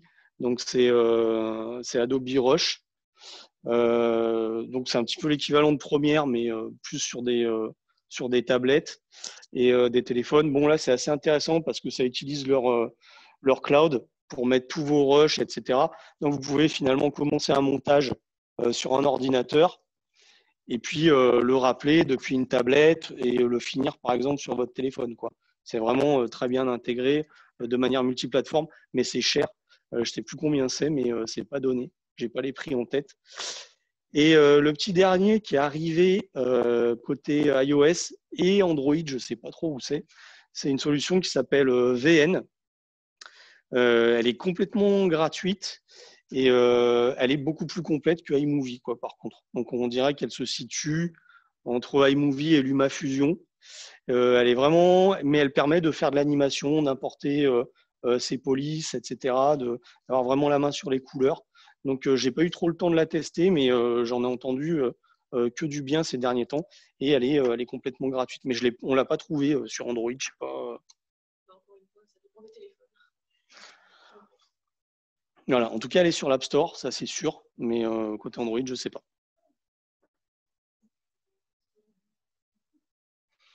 Je suis à la bourre. Je peux profiter pour une question Oui. L'animation euh, de présentation euh, du Media Lab, du coup, vous l'avez faite euh, sous quel logiciel? Euh, bah, je sais pas. Ça, on l'a pas fait. Ça, par contre, on l'a pas fait sur. euh, Enfin, la création, tout ça, on l'a pas monté sur euh, sur iPad. hein. Ça a été fait par euh, une graphiste qu'on avait à la Casemat et qui a travaillé avec euh, des logiciels classiques quoi, pour faire cette animation. Donc, très probablement euh, Adobe After Effects. Sûrement After. Ok. Donc voilà, euh, je montre un petit peu notre, euh, notre mode de, production à la casemat qui est, qui est simple. On filme avec, avec l'iPhone.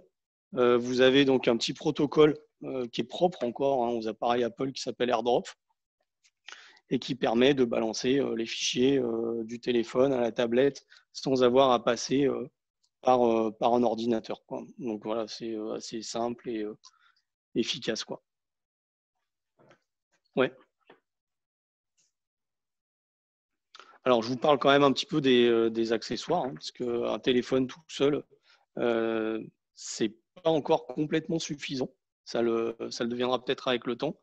Euh, mais effectivement, pour le moment, pour faire de la vidéo, en tout cas, que j'appelle professionnelle, hein, c'est-à-dire euh, euh, bon son, image stable, bien cadrée, il faut en passer par, des petits accessoires qu'on va, qu'on va vous montrer. Alors, on accessoirise pour avoir un meilleur son, une meilleure stabilité, une meilleure qualité d'image si c'est ce qu'on recherche, et aussi une plus grande autonomie, puisque le problème de ces petits machins, c'est que la batterie, elle a tendance à, à fondre assez vite quand, quand vous faites de la vidéo, parce que ça sollicite énormément le processeur du, du téléphone.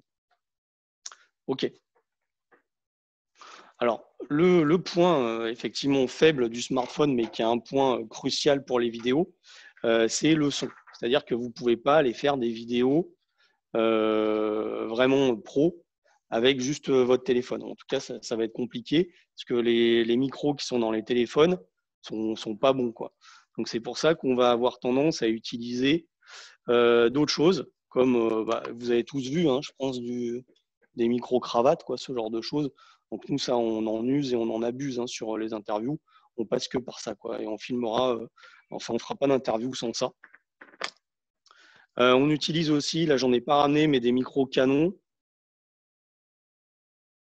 donc vous voyez ce que c'est, non Les micro-canons, donc c'est pas quelque chose que vous allez accrocher sur la personne.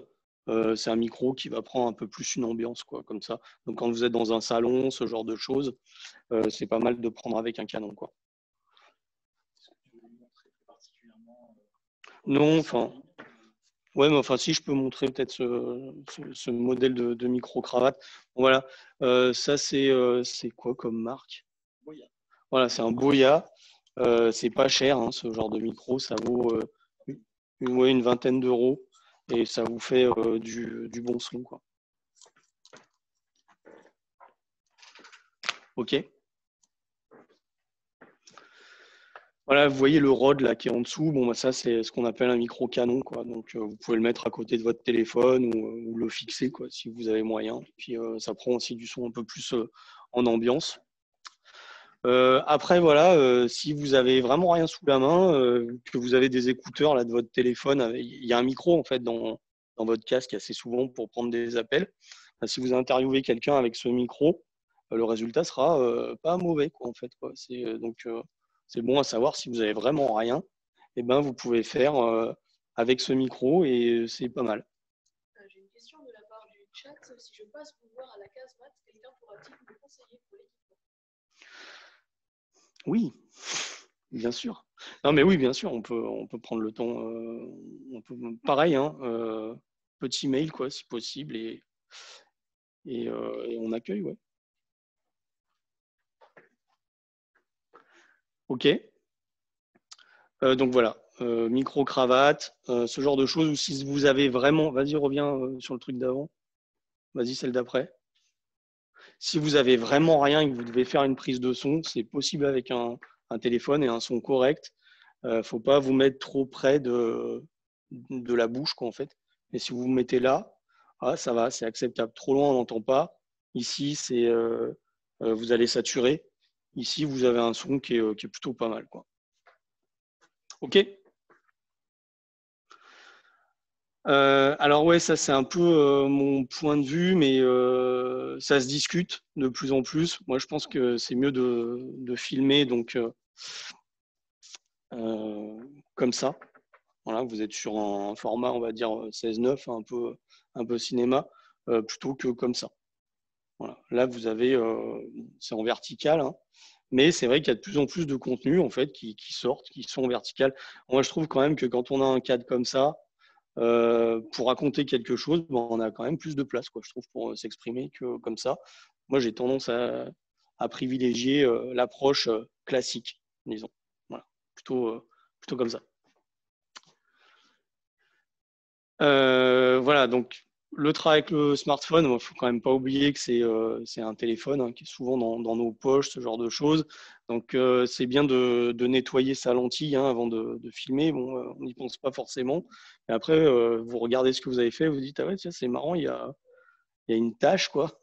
Et bah là, vous ne pouvez pas l'enlever. Quoi. Donc, un petit coup de, de chiffonnette avant de, filmer, c'est bien. Mode avion, quand vous filmez avec un téléphone. Parce que si vous faites une interview, on vous appelle, ben vous, perdez ce que vous avez fait. Quoi. Donc, voilà, c'est, ça, il faut y penser. On y pense, enfin, ça, ça nous arrive. Hein. Ouais, ça nous arrive. Voilà, stabilité. Euh, donc ça, c'est super important parce que quand on filme au début, on se dit, ah tiens, je vais, je vais, la, faire, je vais la faire comme ça. Euh, donc on interviewe la personne. Puis euh, forcément, au bout de, trois minutes, on, voilà, on tétanise un peu. Hein. donc c'est pas bon. quoi. Il y, a des petites choses hein, qui vous permettent d'être stable. Il y a des petits trépieds là comme ça. Voilà, vous allez poser ça sur une table. Hein. Vous avez même un, petit niveau là qui vous dit si vous êtes, euh, si vous êtes droit ou pas. Je vais montrer un petit peu comment ça marche. On vient fixer une grippe dessus. Voilà, c'est un, peu ça. Vous mettez votre téléphone là, vous le posez, et puis voilà, là on est stable, ça ne bouge pas. Euh, problème réglé pour, euh, pour, pour, une misère de prix. Hein. je ne sais pas combien ça coûte, mais ça, doit coûter 5-6 euros. Euh, donc ça, c'est bien. Euh, puis ça, c'est bien ces pieds aussi, parce que vous voyez, vous pouvez les tordre dans tous les sens, donc vous pouvez faire des, points de vue inattendus. Quoi. Si vous voulez, vous pouvez aller euh, accrocher ça en haut d'un mur ou ce genre de choses. Ça peut donner des fois des, angles assez créatifs. Alors, il faut bien voir qu'il soit bien, bien attaché hein, pour pas que le téléphone tombe par terre, mais ça peut donner des choses un peu originales. ensuite, en stabilisation, on a ce que, ce que Manu est en train d'utiliser là quand il s'approche de moi. C'est un stabilisateur avec un moteur euh, dedans. C'est une marque qui s'appelle euh, DJI hein, qui fait ça. Il y a d'autres marques euh, qui le font, mais c'est plutôt, plutôt pas mal. Voilà, donc ça c'est bien parce que vous pouvez prendre de l'image en mouvement avec ça. il va à chaque fois que vous bougez, le, stabilisateur va corriger le mouvement. Donc si vous faites un plan, j'en sais rien, embarqué sur un vélo ou en courant, etc., vous aurez une, image qui va, rester, qui va rester fluide. Quoi ça vaut une centaine d'euros, ce genre de choses. Moi, je ne l'utilise pas beaucoup. Marlène euh, l'a énormément utilisé. Et elle a raison, puisque ça fait quand même des, images vachement plus, plus fluides. Je suis trop dans mon approche garage, quoi. OK.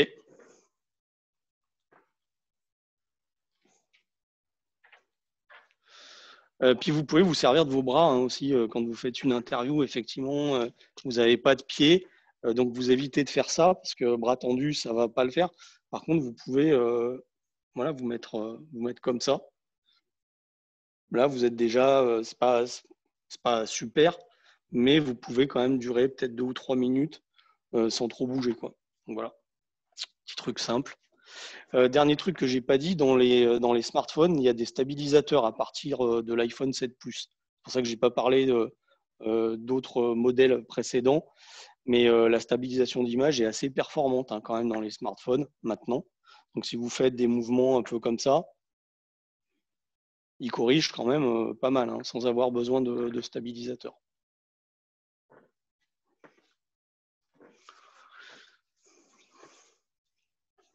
Voilà, bon, aussi le point faible, on va dire, des, smartphones, si on les compare à des, euh, à des réflexes, c'est la capacité à monter dans les ISO c'est-à-dire à éclairer une image quand on est dans, un lieu un peu euh, sombre. Euh, et il existe en fait des, euh, bah, petits kits hein, de, lumière là, comme ça qu'on peut venir fixer justement sur, sur, des grippes, quoi, des, choses comme ça, et qui vous permettent d'éclairer très bien une scène si c'est un peu sombre. Là, il n'y a pas de souci. vous aurez une, bonne image. Donc voilà, si vous êtes beaucoup dans des salons, ce genre de choses, où vous filmez j'en sais rien, à l'extérieur, euh, quand c'est très orageux ou ce genre de choses, bon, des fois de petites loupiottes. Et là, vous éclairez correctement votre scène. Le dernier point, c'est les batteries externes. Euh, nous, on en utilise pas mal euh, quand on sort de la casemate pour aller filmer. Bon, on prend une batterie externe un peu, un peu grosse hein, d'ailleurs, qui puisse recharger 6 ou 7 fois d'affilée le téléphone s'il y a besoin. parce que c'est ce que je disais, la vidéo, euh, consomme énormément sur, euh, sur la batterie du, euh, du téléphone. OK. Alors, on en vient à la qualité d'image qui était évoquée euh, tout à l'heure. Bon, effectivement, des fois, on va avoir besoin d'un angle euh, plus grand. On va avoir besoin, j'en sais rien, parce qu'on est dans un labo, donc on a besoin de filmer un tout petit truc. Ben, on a des systèmes, hein. il y a des kits qui existent de lentilles qu'on vient fixer, vous voyez, hein, sur. alors, c'est plus ou moins pénible, ça aussi, parce que maintenant, il y a plein d'appareils au dos des, des smartphones, vous n'en avez pas qu'un, quoi. En fait, vous en avez plusieurs. Donc, il faut faire des essais pour voir un petit peu à quel endroit il faut bien fixer euh, la lentille pour qu'elle ait euh, l'effet attendu. Quoi. Sinon, ça peut donner des fois des, choses qui ne vont pas. Voilà, ça se met là-dessus, les lentilles. Il faut vérifier si vous achetez des lentilles qu'elles sont bien compatibles avec euh, votre modèle de smartphone. Il y a des lentilles qui sont uniquement pour iPhone de telle génération ou Samsung machin etc. Donc bien vous assurer euh, de ça. Effectivement, ça améliore quand même euh, pas mal la, qualité de, l'image. Et on a à tous les prix hein, des lentilles. Il euh, faut éviter hein, ce qu'on appelle les, les, culs de bouteille, quoi, qui coûtent vraiment pas cher du tout, qui grossissent en fait votre image, mais qui apportent pas forcément de la, qualité. Par contre, des, bons kits de lentilles, genre macro, un téléobjectif, un grand angle, autour de 100 euros, vous avez des choses vraiment, vraiment pas mal. Même moins, je pense maintenant. OK.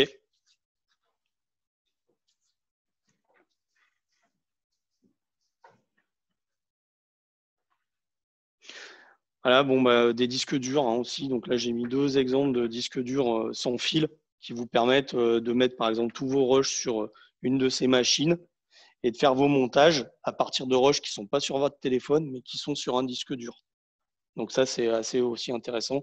Parce que la gestion des fichiers est parfois un peu pénible sur les smartphones. Donc ça, c'est des choses qui sont bien pour, pour stocker et pour monter. OK. Voilà, donc je pense que vous voyez un petit peu niveau matériel comment, comment les choses à l'heure actuelle se, situent, ce qu'on peut faire avec un téléphone portable.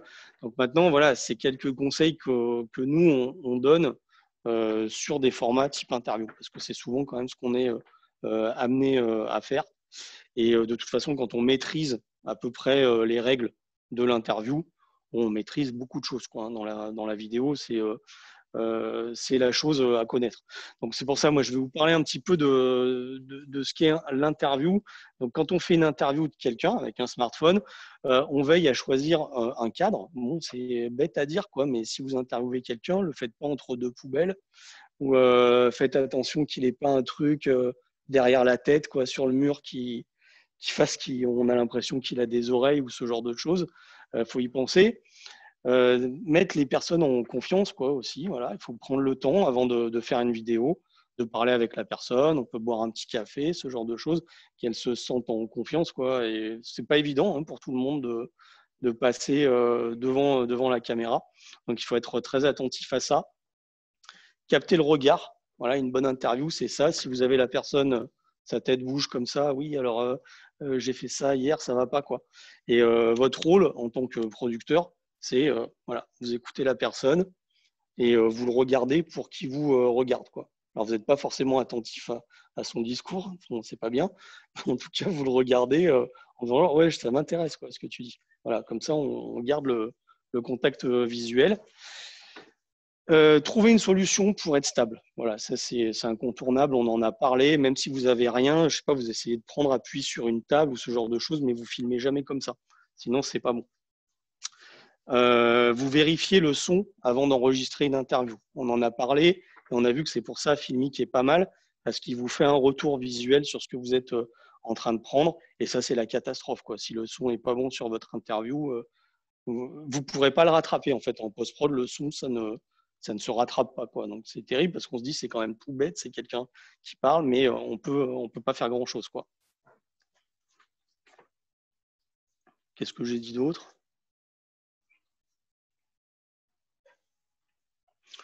Sur une interview, on forme plutôt, on va tourner plutôt en 16 neuvième, donc euh, à l'horizontale plutôt qu'à la verticale, sauf si c'est vraiment un effet euh, recherché ou vous voulez mettre ça dans une story Instagram. Sinon, pour le reste, on est plutôt sur un, format cinéma. Et on se place à hauteur de l'interviewé. Bon, ça vous voyez hein, au cinéma, les plongées, contre-plongées, etc.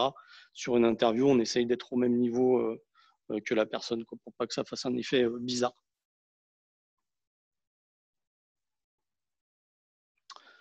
Donc voilà, sur là, je parle un peu de- des réglages de l'interview euh, dans Filmic. Donc Filmic vous permet de faire une mise au point, ça c'est important, même si vous vous avez que l'application de base de votre téléphone, faites la mise au point. Quoi. Ça, tous les téléphones maintenant le permettent. Je ne sais pas si vous l'avez déjà expérimenté, mais généralement, si vous tapez sur, euh, sur une zone de votre écran, il va mettre la mise au point à ce niveau-là. Donc quand on fait une interview, on essaye de faire la mise au point euh, sur le visage de la personne. C'est ça qui doit être euh, bien net et le reste un peu plus, euh, un peu plus euh, flouté. Quoi. Et l'exposition, vous pouvez la régler via un certain nombre d'applications non filmiques. Euh, pareil, vous allez essayer de, de, régler ça correctement en vous mettant aussi sur le visage. Quoi. Comme ça, la mise au point est bien faite sur le visage de la personne et son visage est correctement exposé. Et c'est ça qui compte si on est en train de faire une interview. OK? Donc ça, c'est un peu des bases de, cadrage. Donc, euh, je ne sais pas si vous êtes un petit peu familier euh, de ça, mais effectivement, sur une image, là, on le voit, hein, il, y a des, lignes hein, comme ça. Vous voyez, ça fait, euh, ça fait 9 carrés, quoi, comme ça. Et on va se servir de cette grille pour composer euh, son image. Donc là, par exemple, si on prend euh, cette image-là, elle est très correctement euh, cadrée, puisque la tête de l'interviewé tombe bien sur ce qu'on appelle un des tiers. Quoi. Donc, c'est les intersections entre ces carrés. Et puis, là, donc, je pense que la personne qui interviewe cette personne, elle est plutôt ici. Elle capte son regard. Et donc, il a un regard qui englobe bien l'image. Donc là, vous voyez, c'est un cadre parfait. Quoi. Alors que là, les cadres, là-bas, ils ne sont pas parfaits. Vous voyez, ils sont, ils sont comme on, dit, petit côté. C'est-à-dire que le regard tout de suite de l'image. Donc ça, c'est pas bon. Et euh, sur les applis, même l'appli de base, normalement dans votre téléphone, vous pouvez afficher euh, la grille. Vous avez des options assez souvent. Et euh, moi, je vous conseille, en tout cas, quand vous filmez quoi que ce soit, de travailler avec la grille. Quoi. Parce que vous allez pouvoir positionner plus facilement vos personnages ou vos objets sur ces points de tension qui sont finalement les intersections entre chacun de ces carrés. C'est super important. Quoi. Et c'est super simple en plus. Donc, euh, si vous n'avez pas l'œil, comme on dit, genre comme moi, moi, j'ai pas l'œil du tout, euh, je m'appuie euh, systématiquement sur système de grille et ça fonctionne. Quoi. Voilà. L'autre chose, quand vous faites une vidéo, ça aussi, c'est assez simple de mon point de vue, mais c'est quelque chose que moi, je n'avais pas du tout euh, calculé avant de faire de la vidéo. Euh, c'est ce qui fait une bonne vidéo, c'est l'alternance des plans. C'est ça en fait. Donc, euh, si vous prenez euh, n'importe quel sujet, par exemple dans un JT, bon, vous voyez comment ça fonctionne. Quoi. En gros, il y a une voix off, on va dire. Il y a une personne qui est interviewée, puis pendant qu'elle parle, on la voit. Tac, plan de coupe. J'en sais rien, c'est un boulanger. Oui, alors dans ma boulangerie, machin, boum, image de la boulangerie. On revient sur la personne qui parle. Et un peu après, et donc euh, j'ai eu un prix pour le meilleur croissant du monde, boum, les croissants, etc. etc. Et euh, du coup, ça fonctionne parce que toutes les 5 secondes, votre cerveau il est stimulé euh, par une, nouvelle, image qui, qui arrive. Et c'est ce qui fait la différence avec le film de famille. Voilà, petit film de famille. Vous avez quelqu'un qui suit un enfant qui court dans un jardin, comme ça, là, euh, pendant cinq minutes. Alors c'est bien pour la famille. Néanmoins, bon, euh, quand vous, regardez ça, vous n'avez pas justement cette, euh, cette succession d'images euh, qui captent votre attention et qui contextualisent ce dont on est en train euh, de parler. Bon, après, euh, les plans, ils ont, en plus, ils veulent dire quelque chose. Tu peux passer peut-être. Ouais, bah, vas-y.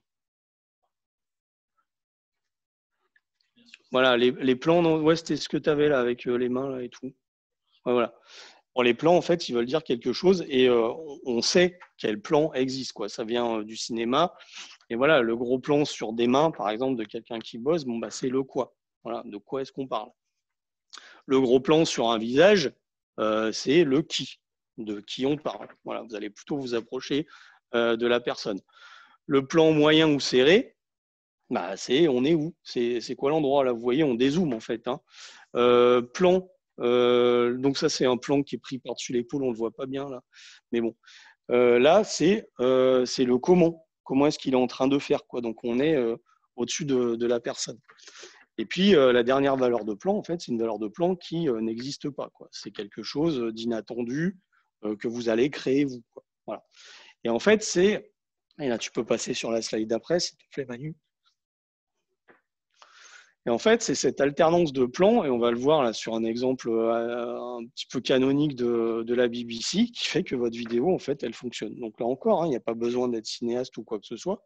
La règle, c'est ça. C'est euh, il y a une personne qui parle, toutes les cinq secondes, euh, je mets un plan de coupe ou une photo ou un texte qui apparaît, qui se passe quelque chose. Quoi. Et à la fin, vous avez une vidéo qui marche. Tu peux la lancer, s'il te plaît, ce truc-là de la BBC Merci. J'ai presque fini, hein, je t'en ai encore pour 5 minutes. Je pense que si tu cliques, ça doit se lancer.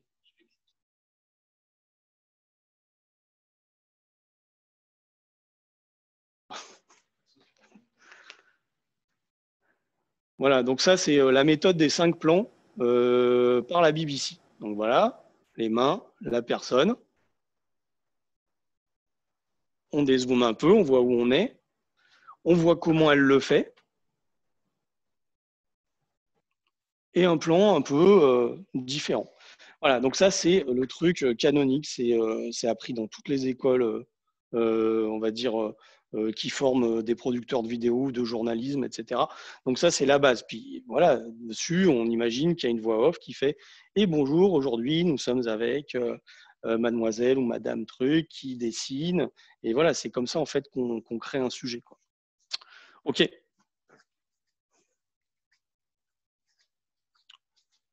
Donc voilà, j'en finis un petit peu. Là, de mon point de vue, là, maintenant, vous pouvez prendre un smartphone euh, et, aller euh, faire un petit, euh, un petit sujet. Quoi. À mon avis, c'est possible en téléchargeant une des applications gratuites que je vous ai montrées, en utilisant l'application native hein, même de votre téléphone. Vous pouvez essayer d'aller faire un petit montage et voir un petit peu ce que ça donne. Alors, vous n'allez peut-être pas avoir le sujet du siècle là sous, sous la main aujourd'hui. Néanmoins, ça va vous permettre de vous dire, ah oui, tiens, ça c'est intéressant, j'arrive à le faire, et de découvrir un petit peu euh, ces applications. Ces applications, c'est bien d'être formé dessus, de mon point de vue, c'est toujours mieux hein, d'être formé, mais euh, vous pouvez euh, tout seul arriver à faire les choses. Hein. Nous, quand on prend une application, on ne va pas se former à chaque fois sur l'application. On va regarder du tuto sur Internet, etc. C'est des applications qui sont, et vous le verrez, assez simples quand même à prendre en main, quoi, généralement vous allez regarder un peu des tutos, euh, vous expérimentez des choses, vous allez y arriver aussi. Hein. Ok, je vais finir. Bon, ça c'est euh, ce qu'on fait euh, pas assez quand on fait des vidéos, mais je pense que c'est bien d'écrire un petit peu un, petit scénario quoi, avant, de, avant de filmer pour, pour plusieurs raisons, parce que voilà, si c'est euh, un tournage, par exemple, sur le terrain, qui n'est pas dans votre lieu de travail, ben, c'est bien de vous dire, mais OK, on va essayer de faire ceci, cela avant. Euh, parce que vous savez quoi faire. Quand vous arrivez, vous n'êtes pas là, euh, ah, je ne sais pas, je n'ai pas réfléchi à la question. Et l'autre problème, c'est que quand vous ne vous préparez pas, vous avez tendance à, filmer énormément. Quoi. ce qui est normal, hein, parce que vous essayez de vous constituer une réserve pour après, quand vous allez faire le montage. Et quand on prépare, bah, on se dit, non, mais je vais prendre ce plan-là, ce plan-là, ce plan-là pas un autre. Alors, quand on n'a pas préparé, on en met plein le téléphone. Et après, quand vous devez dérocher votre téléphone, et eh ben là, vous vous dites, ah ouais, j'en ai peut-être un petit peu trop pris, quoi, et, ça va me prendre beaucoup de temps. Donc euh, voilà, c'est bien d'avoir, il ne faut pas écrire un scénario euh, de folie, hein, mais euh, avoir quelques idées de, de plans, et ça vous, ça vous permet aussi de vous interroger sur, bah, je veux parler de quoi, je veux en parler à qui, je vais le diffuser où? Enfin voilà, quoi, vous êtes quand même des concepteurs quoi, quand, vous, quand vous faites de la vidéo. Donc c'est quand même bien de se poser euh, ces questions-là euh, en, amont. Voilà, j'en finis euh, sur ma, conclusion hein, sur la, vidéo faite avec, avec du mobile. Voilà, vidéo stable, hein, son clair, image correctement cadrée. On a vu que ça c'était simple. Hein, il faut jouer sur ces, sur ces, ces intersections pour arriver à bien cadrer alternance de plans, donc pas filmer quelqu'un la face caméra dans son bureau pendant cinq minutes parce que ça ne marchera pas. Et ça, ça vous donne euh, de la vidéo professionnelle. Voilà, ça, euh, professionnel, ça ne veut pas dire euh, cinématographique, encore une fois, mais ça correspond à ça. C'est assez vite tourné, quoi, finalement, des, vidéos. Bon, ça dépend hein, du niveau quali, mais Marlène, elle met peut-être un peu plus de temps que moi à, produire une vidéo parce qu'elle elle cherche plus de, qualité.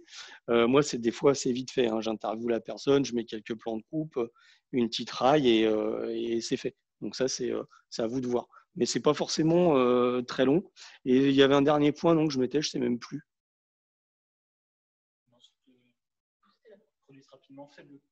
Voilà. Et effectivement, les coûts sont, sont pas énormes quoi. sur la vidéo. C'est euh, aussi ce qui peut nous, intéresser dans, nos milieux, c'est que c'est un média qui est euh, peut-être plus abordable que d'autres. Donc euh, ça, ça vaut le coup de, en tout cas de- d'essayer. quoi. Voilà, j'en ai fini. Merci.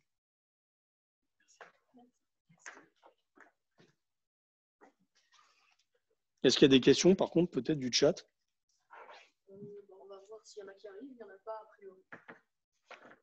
Si vous avez des questions, je suis là pour y répondre, hein, bien sûr. Ce que tu disais sur le son euh, qui n'est pas rattrapable, du coup, ça ne sera pas, pas vrai sur le Zoom si on a deux pistes séparées. Euh, alors, tu parles de Zoom euh, avec le PC Ouais. Euh, bah, en fait, Zoom, si, c'est quand même pareil parce que si tu enregistres une, visio, une visioconf, d'accord, Zoom, et que le son il est pas bon, lui, il va te faire un export hein, après ta, ta piste son, mais elle sera pas bonne, quoi, de toute façon. Et euh, c'est vrai que bon, l'image en post-prod, on peut arriver à arranger des trucs. Le son, ça pardonne pas. Les musiciens, ils le disent hein, beaucoup. euh, une piste studio, tu arrives avec du très bon matériel. Si le micro il est mal placé, euh, bah, il faut refaire quoi. Donc c'est euh, embêtant. Ok, j'ai pas d'autres questions? Ouais. euh, finalement, les utilisations qu'on a données à filmer euh, personnes, surtout dans le live, parce que j'imagine qu'on le fait dans un contexte dans le public. Du coup, euh, qu'est-ce qu'on est autorisé à faire et combien de temps ça reste pour les Ouais. Euh, ouais, c'est une question qui est intéressante. Alors nous, on n'a jamais été amené, on a fait des lives où il y avait des fois beaucoup de, public, mais c'était dans le cadre de choses quand même qui n'étaient pas sur la voie publique. Euh, J'ai pas euh, souvenir qu'on ait fait des lives là-dessus. Donc nous, c'est vrai qu'on est sur, on fait des lives dans des cadres qui sont quand même relativement maîtrisés. Et par contre, c'est un, un process très classique. hein. Donc tu as des personnes qui viennent participer à ton hackathon. Euh, voilà, tu vois, tu as, la feuille euh, de droit à l'image euh, qu'on fait signer. Et voilà, sur les enfants, bah, on évite hein, aussi, tu vois, de... c'est plus compliqué quoi quand même. Enfin, tu peux, hein, avoir l'autorisation des parents, mais c'est parfois un peu plus compliqué. On arrive à les avoir. Par contre, on n'a jamais fait de live sur la voie publique ou ce genre de choses, et je pense que ça poserait problème, d'ailleurs. On a filmé un petit peu dans le tram, et en fait, en rentrant dans le tram, on prévient les gens qu'on va se retrouver avec difficulté. En demandant en fait, de se, se décaler, on avait une, un espace pour nous. en fait. Et les enfants, donc c'est pas même si on a l'autorisation, les parents peuvent revenir dessus. Donc on prend soit de 2, soit de 13 ans. Si on, on a des échanges avec les enfants, donc toujours de 2 ou de 13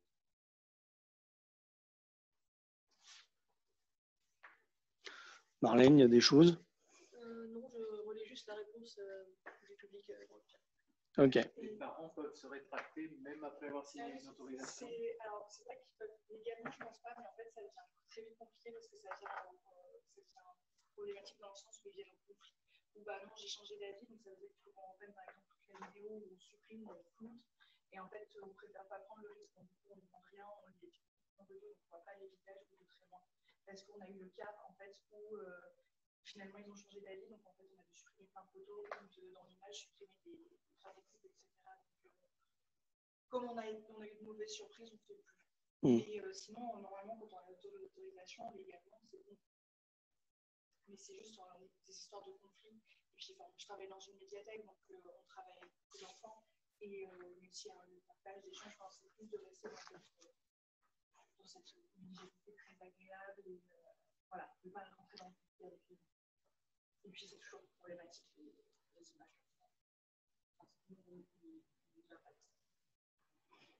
Ok. D'autres questions? Je vais- du coup, sur les lives, ça, ça reste combien de temps euh, Est-ce que ça s'efface le matin que- Non. Ah, vous voulez dire les lives, par exemple, qui sont postés sur une plateforme type Facebook Ouais, euh. YouTube, etc. YouTube, vous allez avoir, enfin, on va en reparler euh, probablement juste après, mais il y a- ça dépend aussi des formats. Il y a des formats éphémères qu'on va retrouver sur Instagram éventuellement. Il y a des formats plus ancrés qu'on va retrouver si on enregistre sur YouTube, éventuellement sur Facebook aussi. Donc là, c'est vrai que ça pose, euh, pose question, d'autant que les images que vous postez, les lives que vous postez sur Facebook n'appartiennent pas qu'à vous.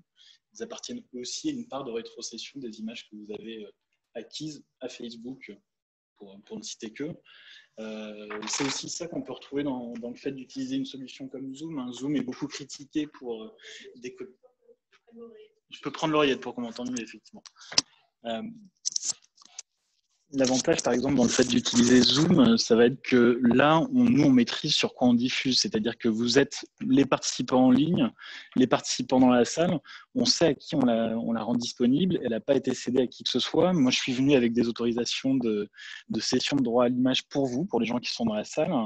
La partie en ligne, on a interdit aux gens d'afficher leur caméra pour éviter qu'ils aient besoin de céder des droits à l'image ou quoi que ce soit. Tout le chat, pour les gens qui sont en train d'interagir dans le chat, hein, ce qui est écrit dans le chat n'apparaît pas sur la captation qu'on fait. Donc, on n'a pas de, problématique de cession euh, quelconque sur la partie chat, qui est qu'avec vous qu'on- que vous nous cédez pour 5 ans d'exploitation de votre image dans le cadre de cette, euh, de cette formation, par exemple. Mais c'est vrai que dès qu'on se lance sur YouTube, Facebook, ça va, ça va aussi poser d'autres problèmes, alors que pourtant, ça va toucher éventuellement plus de public. Ça va être là, un peu le paradigme, le paradoxe euh, et la chose va falloir, avec laquelle il va falloir jongler. Je ne sais pas si ça répond à la question euh, à peu près. Comment, vous faites si, imaginons, on une cinquantaine et euh, par contre, des personnes dans la salle disent bah, Moi, j'ai pas envie que tu vois l'image, si vous pouvez demander de Alors, se je- déplacer. Bah ouais, on les met euh, à la cave. On les met dans le fond, on leur demande de porter un masque euh, pour la crise sanitaire. Et... euh, Non, en vrai, on vous a envoyé à tous, hein, tous les participants dans la salle, je ne sais pas si vous l'avez reçu, un mail dans lequel on vous a demandé de vous manifester si jamais vous refusiez d'être euh, pris en vidéo. Donc, dans ce cas-là, on aurait trouvé un artefact, on aurait soit décidé que, puisqu'il y avait la moitié d'entre vous qui ne voulaient pas apparaître, bah, on ne faisait pas de plan de la salle, c'était pas la peine d'aller ensuite retravailler la vidéo euh, en floutant un à un les personnes. On peut aller au montage flouter des personnes, mais c'est tout de suite plus laborieux. Euh, le but, c'est un peu ce que disait Pascal aussi sur l'idée de pas prendre des milliards et des milliards de plans qui servent à rien, autant pas prendre de plans d'une personne qui veut pas apparaître. Donc on essaye de border ça un peu en amont. Moi, j'ai déjà eu le cas d'une personne qui voulait vraiment pas se faire filmer. Ben, on lui a dit euh, de se pousser, quoi. Voilà, euh, on a filmé le, reste euh, comme on a pu, mais c'était. Bon, non, en fait, ça s'est bien passé, on a fait comme ça. J'ai une question sur les autorisations, parce que tout à l'heure, dans le mini-reportage sur, la, sur la box, vous disiez que vous aviez utilisé les images que eux avaient tournées. Et du coup, ça pose la question des droits d'auteur cette fois-ci. Ouais, mais alors, euh, c'est dans le cadre d'une résidence. Ouais, pardon. Ouais, c'est dans le cadre d'une résidence.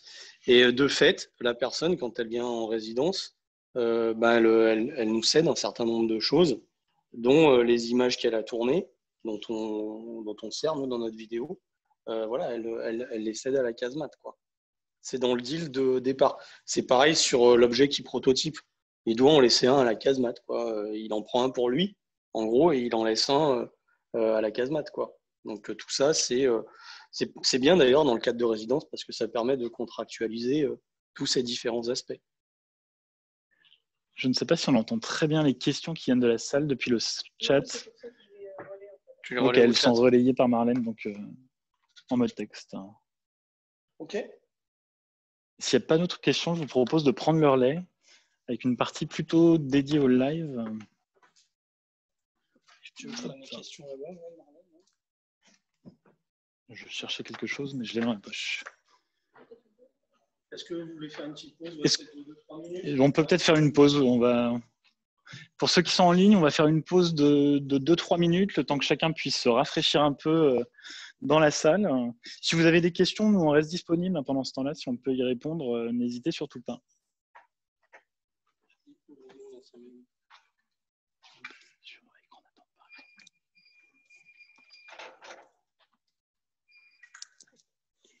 Chaud ta souris. Tu peux- Moi, je mute.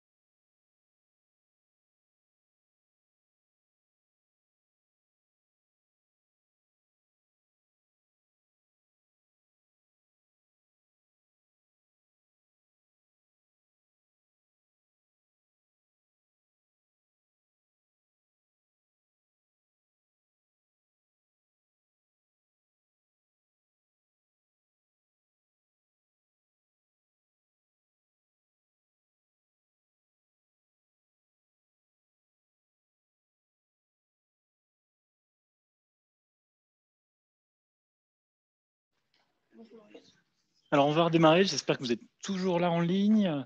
Euh, je me représente en quelques mots. Donc, je suis Emmanuel Aîné, je suis le coordinateur départemental de la Fête de la Science et c'est un petit peu la raison pour laquelle on a souhaité euh, animer cette, euh, cette formation avec Pascal Moutet, donc responsable du Media Lab. L'idée est qu'on est un peu tous là en ce moment dans des, dans des expérimentations, dans des attentes vis-à-vis, c'est ce que disait Pascal tout à l'heure, hein, vis-à-vis d'événements qui vont avoir lieu à la rentrée.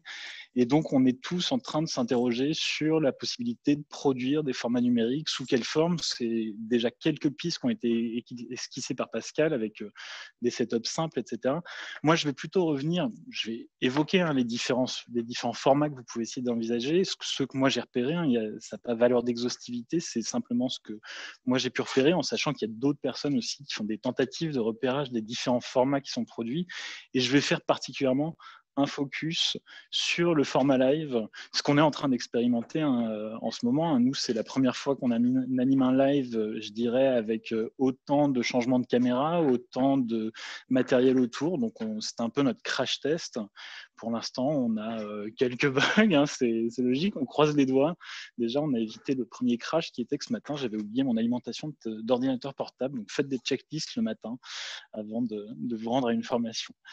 Du coup, si Marlène, tu peux juste euh, me repasser les, les, slides juste pour juste vous dire que sur les formats qui ont été produits pendant le confinement, il y en a eu une multitude en vérité. Il y a pas mal de gens qui se sont retrouvés, ce que disait Pascal, un petit peu dépourvus, avec privés de leur lieu, privés de leur public et qui ont essayé de se réinventer en ligne. Euh, ces différents formats, il faut savoir qu'il y a une veille qui est proposée par euh, l'AMSTI, l'Association des musées de culture scientifique, technique et industrielle. Et cette veille, ils la partagent avec vous tous. Vous, allez le retrouver. C'est ce qu'ils appellent euh, la veille des initiatives confinées. Et sur leur, sur leur homepage, vous allez retrouver sur leur page d'accueil de site internet, vous allez retrouver l'ensemble de ce que eux euh, ont pu euh, décrypter, ont pu voir passer, ce qu'on leur a communiqué aussi via différents canaux de, communication. Et ils ont essayé d'en faire une sorte de tri, d'essayer de catégoriser ça, mais c'est aussi une sorte de gloubi-boulga de pas mal de formats, pas mal d'expériences. C'était l'occasion d'expérimenter et chacun y allait un peu de sa classification. Euh, si moi, je tente de classer ces différentes expériences que j'ai essayé de, représenter euh, juste là. Je vais commencer par parler d'une, une qu'on a peu abordée euh, pour le moment. On a, on a parlé beaucoup de vidéos, mais n'oubliez pas que dans audiovisuel, il n'y a pas que visuel, il y a aussi audio, et l'audio a une grande part là-dedans. Et il y a des formats qui ont été proposés, des formats purement audio, pendant le confinement. Si vous n'avez rien de particulier à montrer, si vous n'avez pas le sentiment d'être véritablement euh, télégénique, euh, vidéogénique, après tout, pourquoi pas plutôt aller produire quelque chose qui nécessite simplement un micro, un, habillage sonore, etc. Éventuellement, vous allez produire de très jolies choses et vous allez un peu plus vous attacher à ce que vous racontez parce que dès que vous essayez de mettre de la vidéo, c'est un peu notre cas là, euh, sur, ce, sur cette formation, vous vous trouvez avec beaucoup plus de problèmes techniques, vous vous trouvez avec beaucoup plus de choses à gérer, et parfois c'est le son qui passe à la trappe, et je reparlerai, je remettrai une couche sur le son. Euh, un mauvais son, ça, on s'y fait pas franchement, alors qu'une mauvaise vidéo, on peut encore s'en accommoder. Alors, si tu peux passer sur la deuxième slide, juste dans les podcasts hein, qui ont été produits, il y, a, des podcasts, il y a des émissions radiophoniques, il y a différentes façons de s'adapter. Par exemple, le CNRS, pour euh, essayer de recontextualiser un petit peu la période qu'on était en train de vivre, a produit des podcasts euh, sous forme d'entretien avec des personnalités du monde de la recherche, des entretiens, des témoignages, qui aujourd'hui sont disponibles via YouTube, mais qui à la base étaient surtout euh, quelque chose de sonore. Donc si vous lancez la vidéo YouTube, ce que vous allez avoir, c'est du son et un habillage très simple. On a aussi des gens qui produisaient des émissions thématisées, donc des émissions plus longues avec un thème unique. C'est le cas par exemple de Podcast Science. Podcast Science, c'est j'allais dire leur fonds de commerce, en tout cas c'est leur activité au long cours. Donc ils se sont retrouvés finalement plutôt euh, bien équipés pour produire ce type d'émission pendant le confinement. Et puis il y a euh, aussi la problématique de ceux qui avaient des événements, qui devaient tenir des événements et qui cherchent des alternatives. C'est le cas en ce moment du Festival d'Avignon qui a monté un partenariat avec France Culture pour essayer de proposer des choses qui soient une alternative à l'événement. Parmi les choses qu'il propose avec le partenariat avec France Culture, il y a des interviews d'artistes qui étaient censés intervenir. Il y a des captations qui ont été prises éventuellement avant ou alors qui sont prises en direct dans des salles closes de spectacles pour essayer de proposer quand même un festival d'Avignon, même si c'est pas celui dont il rêvait. Ça a été un peu le cas pour tous, hein, ce confinement, c'est comment est-ce qu'on produit quelque chose qui n'est pas forcément ce dont on rêve, mais aussi parfois comment on se réinvente au passage. Alors ça, c'est pour une partie plutôt sonore. Je suis désolé, je ne vais pas y revenir beaucoup sur le son, alors que j'aime beaucoup ça. Je suis plutôt quelqu'un qui aime la radio plus que la vidéo, mais c'est pas ce, ce, que je vais aborder là pour, pour ce qui reste. Dans les autres choses qui ont été produites, il y a des visites aussi. On a eu des visites je dirais, des visites numériques à 360 euh, qui éventuellement étaient déjà dans les cartons des différents lieux culturels, qui sont allés euh, mettre en ligne ces visites virtuelles, qui éventuellement les ont un peu augmentées. Il y a aussi des visites euh, finalement en forme de balade. C'est le cas de la Cité du Train à Mulhouse. C'est la petite vidéo qu'on peut peut-être lancer, si tu peux faire ça Marlène, ce serait celle qui est en haut à droite. Donc la Cité du Train à Mulhouse qui a proposé une visite euh, d'une ou deux heures sous forme d'un Facebook Live. Et Bonsoir. Avec, euh, Bienvenue à toutes et à tous dans ce live Facebook, une première pour un musée mulhousien, en direct depuis la Cité du Train. Depuis la Cité du Train, musée du patrimoine SNCF à Mulhouse, en Alsace. Je suis Sylvain Verneret, directeur général de ce musée, et nous allons passer ensemble l'heure qui suit à découvrir l'exposition que vous pouvez apercevoir derrière moi, les quais de l'histoire. 13 000 mètres carrés qui retrace l'histoire du chemin de fer en France depuis ses, origines en 1827 à nos jours. Pourquoi un live ce soir? Tout d'abord, sincèrement, parce que vous nous manquez. Compte tenu de la situation sanitaire que nous traversons,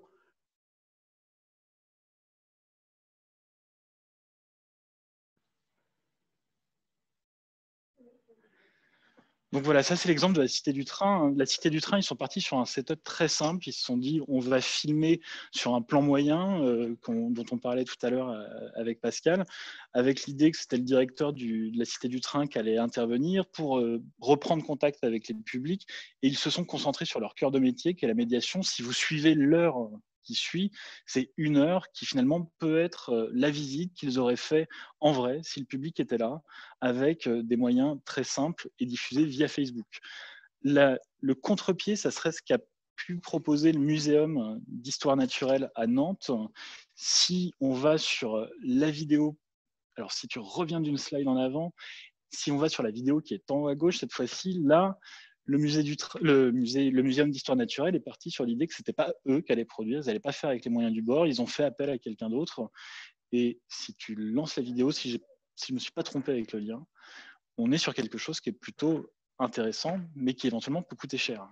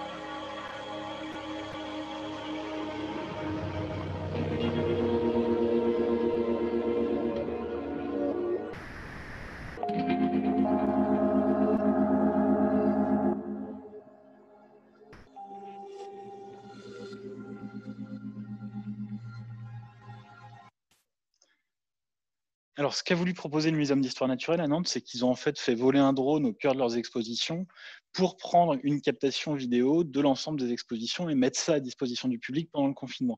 Je vois certaines réactions dans la salle et ça fait écho à une discussion qu'on avait pendant la pause. Là, vous faites appel à un service de captation, quelqu'un qui est capable d'opérer un drone, quelqu'un qui va vous proposer euh, quelque chose de tarifé, quelque chose pour lequel vous n'avez pas forcément les moyens. Euh, on parlait de, captation vidéo qui peuvent coûter, euh, si vous faites faire ça par un professionnel, jusqu'à 10 000 euros. Pour un drone, ça semble très probable que vous allez y mettre des moyens. Donc il y a deux approches différentes. Il y a l'approche euh, Muséum d'histoire naturelle de Nantes, où certes le résultat est, plutôt bluffant, dynamique, on, a envie d'y être. Et il y a la proposition de la Cité du Train à Mulhouse, qui est surtout pas achetée, euh, achetée à la poubelle, parce qu'en fait, ils se sont dit, nous, notre cœur de métier, c'est de la médiation. On va mettre en place un dispositif simple et on va faire de la médiation. Et ils se sont concentrés sur leur cœur de métier avec les moyens qu'ils avaient. Et finalement, on passe un très bon moment en leur compagnie pendant une heure. Peut-être que le format est un peu long, mais c'est aussi, c'était aussi un temps d'expérimentation. Donc, c'était la première fois où ils, se, où ils se donnaient les moyens de se mettre sur Facebook. Et l'expérimentation est finalement peut-être plus intéressante pour eux que pour le Muséum d'histoire naturelle à Nantes, qui s'est contenté de demander une prestation et n'avait pas que de capacité à produire par la suite. Alors ça, c'est pour des formats visites on peut euh, aussi parler d'expositions. Euh, les expositions en ligne, il y en a qui ont été produites, des expositions qui ont été produites par exemple par la, Cité des Sciences qui a fait quelque chose sur le coronavirus. Là, c'était simplement une sorte de, webographie, de, visite sur une page Internet, mais qui permettait de remettre du contexte et de proposer des, contenus dans un contexte qui, était, qui nécessitait de l'information. Après, il y a aussi eu des ateliers, des manipulations, des formats que éventuellement on faisait déjà. Tout à l'heure, tu as parlé, Pascal, des tutoriels qu'on fait à la casemate. On fait déjà des tutos, on propose déjà des ateliers, des vidéos filmées qui vont proposer des petites expériences à recréer chez soi. Ça, c'est un, format qui a beaucoup été proposé pendant toute la durée du confinement. Alors là, j'ai deux exemples. J'ai l'exemple de la rotonde en haut à droite. On ne va pas les lancer. Hein. L'exemple de la rotonde et l'exemple de la casemate, euh, principalement de la fille d'une de nos médiatrices qui s'est transformée en médiatrice tout le temps du confinement. Et l'idée, c'était de donner à faire et de ne pas disparaître finalement du champ, euh, de, de vision de nos publics. Il y a deux approches quand même légèrement différentes entre les deux. C'est que la Rotonde a décidé de partir sur une diffusion en direct et à la casemate, on avait décidé de partir sur une diffusion non pas en direct, une capsule produite en amont et mise en ligne. Alors ça, je vais en reparler ensuite parce qu'il va falloir se poser la question du direct. Est-ce que c'est ce que tu faisais comme transition tout à l'heure? Est-ce que c'est vraiment pertinent d'aller faire du direct à chaque instant? Euh, La Rotonde a expérimenté, ils ont expérimenté le direct, mais moi je vous, je vous dirais qu'il y a des raisons pour lesquelles on part sur le direct qui n'étaient pas vraiment réunies pour partir en direct, là dans l'exemple de la Rotonde. Alors, il y a d'autres formats qui ont été produits, je ne sais plus lesquels j'ai mis juste ensuite, mais on a eu voilà, des conférences, des entretiens, des interviews qui sont venus de différents acteurs. On a eu euh, des acteurs très, déjà très ancrés dans, la production audiovisuelle. On a l'exemple de, de Click TV hein, sur, euh, sur Canal qui s'est lancé dans l'Instagram Live pendant le confinement parce qu'il fallait bien continuer à produire des contenus qui allaient être diffusés sur Canal Plus ensuite. Eux, l'idée de partir sur du live s'imposait parce qu'ils avaient une grille de programmation à remplir et c'est comme ça qu'ils fonctionnent d'ordinaire. Après, ils sont restés sur des formats où ils échangeaient. C'est l'échange entre euh, un célèbre prestidigitateur, enfin, je ne sais plus comment il s'appelle exactement, mais, euh, et Clément Viktorovitch. Mais ils sont partis sur un format très très simple et il faut absolument se déculpabiliser sur le côté pro des formats et sur le fait de vouloir faire des choses alambiquées parce que même des pros de l'audiovisuel comme Canal+, ils se sont contentés de mettre un habillage, c'est ce qu'on voit là en, bas à gauche, hein, un habillage avec les logos de Click TV, deux fenêtres avec les deux intervenants et un focus sur les intervenants qui échangeaient, qui se posaient des questions, etc. Donc il n'y a pas besoin de partir forcément dans des choses euh, très euh, stylisées, parce que dès qu'on essaye de faire quelque chose de stylisé, quand on sort aussi de son champ de compétences, c'est là qu'on commence à faire des choses moches. Euh, par exemple, moi je suis pas graphiste, et vous voyez bien que la fenêtre qui est en bas à droite, là, eh ben, je suis pas graphiste. Quand je fais un habillage, quand je fais un, espèce d'écran là comme ça d'ordinateur avec un micro, je pense pas forcément au fait qu'il va y avoir plein de blancs qui restent autour du micro, je pense pas qu'il va venir juste à côté de ma tête pendant que je suis en train de me balader. Donc voilà, il y, a, des imperfections parce que j'ai voulu typiquement trop en faire. Et c'était un peu le crash test vers lequel on partait aujourd'hui en voulant faire ce live. Est-ce qu'on voulait trop en faire alors, il y a des choses qui ont été très bricolées. C'est l'exemple, par exemple, de Julien Bobrov, qui est euh, chercheur en physique à l'Université de Paris-Saclay et qui fait beaucoup d'activités de médiation, qui fait partie d'un groupe de recherche où il mêle activités de médiation et recherche scientifique et qui, pendant tout le confinement, a proposé en fait trois conférences, trois conférences confinées, trois conférences où il était seul, chez lui, face à sa caméra, avec différentes manipulations. Il a voulu donner beaucoup de choses à voir avec l'idée qu'il fallait absolument qu'il y ait de la dynamique et que la dynamique, il allait l'apporter via des objets, il allait l'apporter via peut-être aussi le fait d'éviter de recourir tout le temps au numérique. Lui, par exemple, ne voulait pas absolument pas de slide comme ça dans ses, dans ses conférences. Il a dit, je veux quelque chose de tangible. Les gens, ils sont déjà dans une démarche numérique. Moi, derrière moi, je mets un tableau et je vais dessiner au tableau Ou alors, je vais mettre une caméra sur un pied qui va prendre quelque chose que je suis en train de dessiner, mais je veux leur apporter du tangible. Et puis, je veux leur apporter des choses qui y a chez moi. Je veux incarner un petit peu ce live. Je veux un peu donner de ma personne pour ce type de format. Je reparlerai de Julien Bobrov parce qu'il a pas mal évolué au cours de ces trois conférences. Il a pas mal revu sa façon de faire, notamment après les premiers crash tests, après la première expérience qui lui a fait, enfin qui lui a donné quelques, quelques points négatifs qu'il a voulu gommer et quelques points positifs qu'il a voulu accentuer. Après, il y a eu aussi des formats sur Instagram. Il y a eu, euh, alors c'était la précédente, mais ce qu'on voit, euh, c'est un format sur Instagram tout à droite qui est propulsé par CapScience, où ils sont allés faire des, petits entretiens autour d'une question de chercheurs, d'intervenants du champ des sciences. Et puis il y a aussi eu des échanges sur des plateformes euh, dédiées d'habitude au streaming live, à la diffusion en direct, comme Twitch. Ça a été le cas pour la, du, de Parlons Maths, qui est une, qui est une chaîne qui s'est montée pendant le, temps du confinement. Alors, il y a tout un, un échantillon d'exemples de, contenus qui ont été produits. Quand je ne sais pas dans quoi mettre ça, moi je mets capsule vidéo. Capsule vidéo, ça veut tout dire et rien dire. Mais là, j'ai l'exemple, par exemple, d'une des capsules vidéo produites par l'INSERM pendant le confinement avec l'idée d'apporter un contenu factuel sur le coronavirus pour éclairer une nouvelle fois la situation de la crise sanitaire.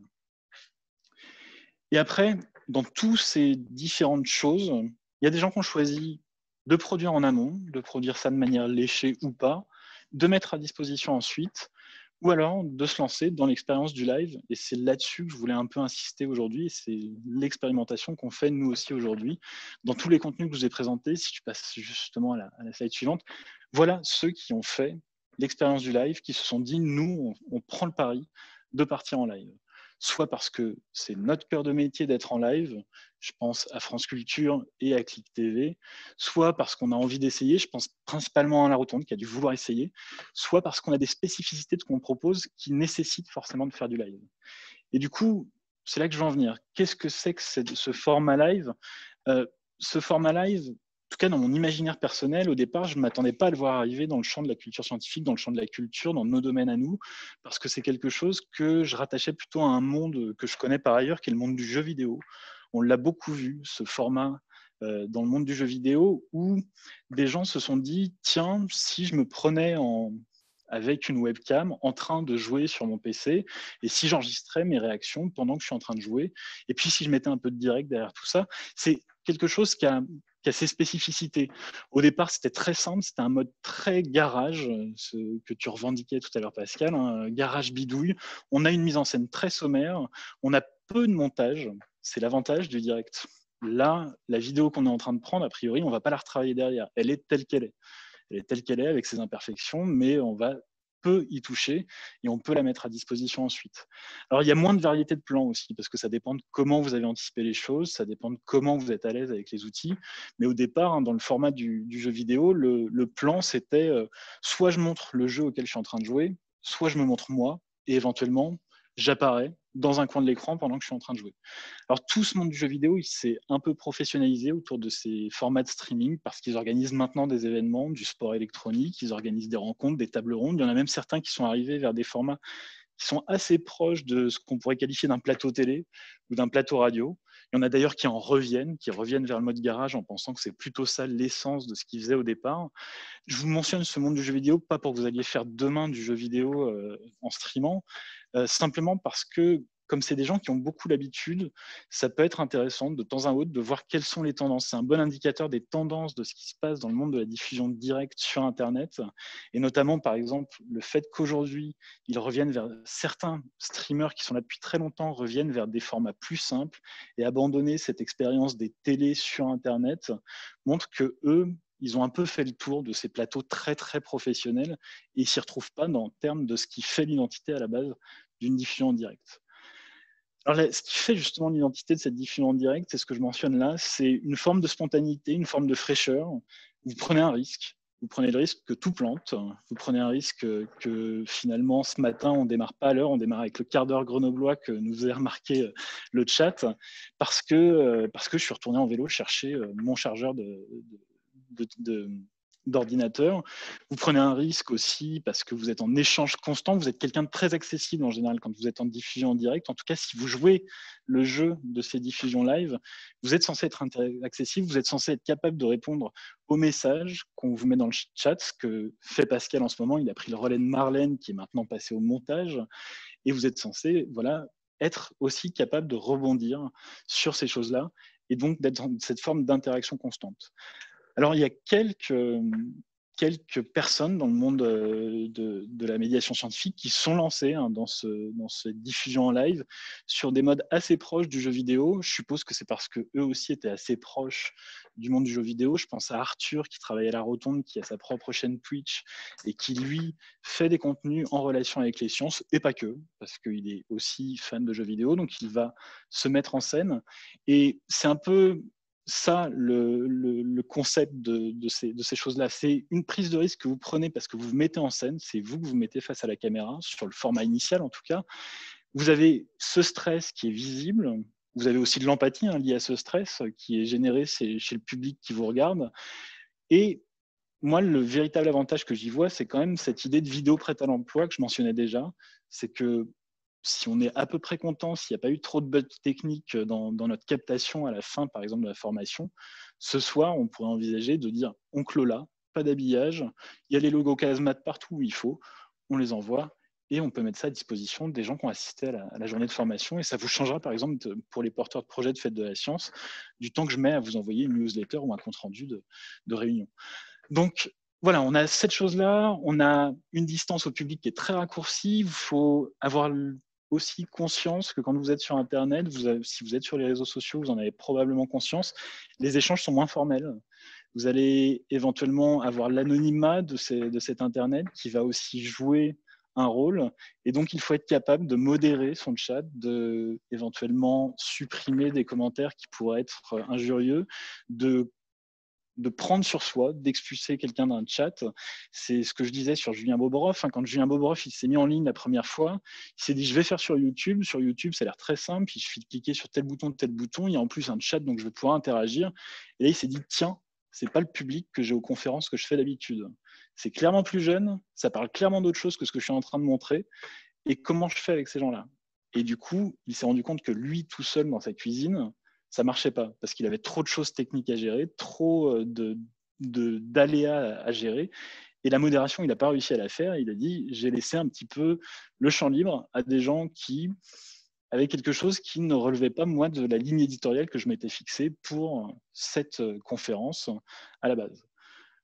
Donc, l'idée, c'est d'en avoir conscience de ça, de savoir qu'on va avoir besoin de rebondir, de savoir qu'éventuellement tout seul, ça va pas être évident. On va voir qu'il y a aussi des alternatives pour ça.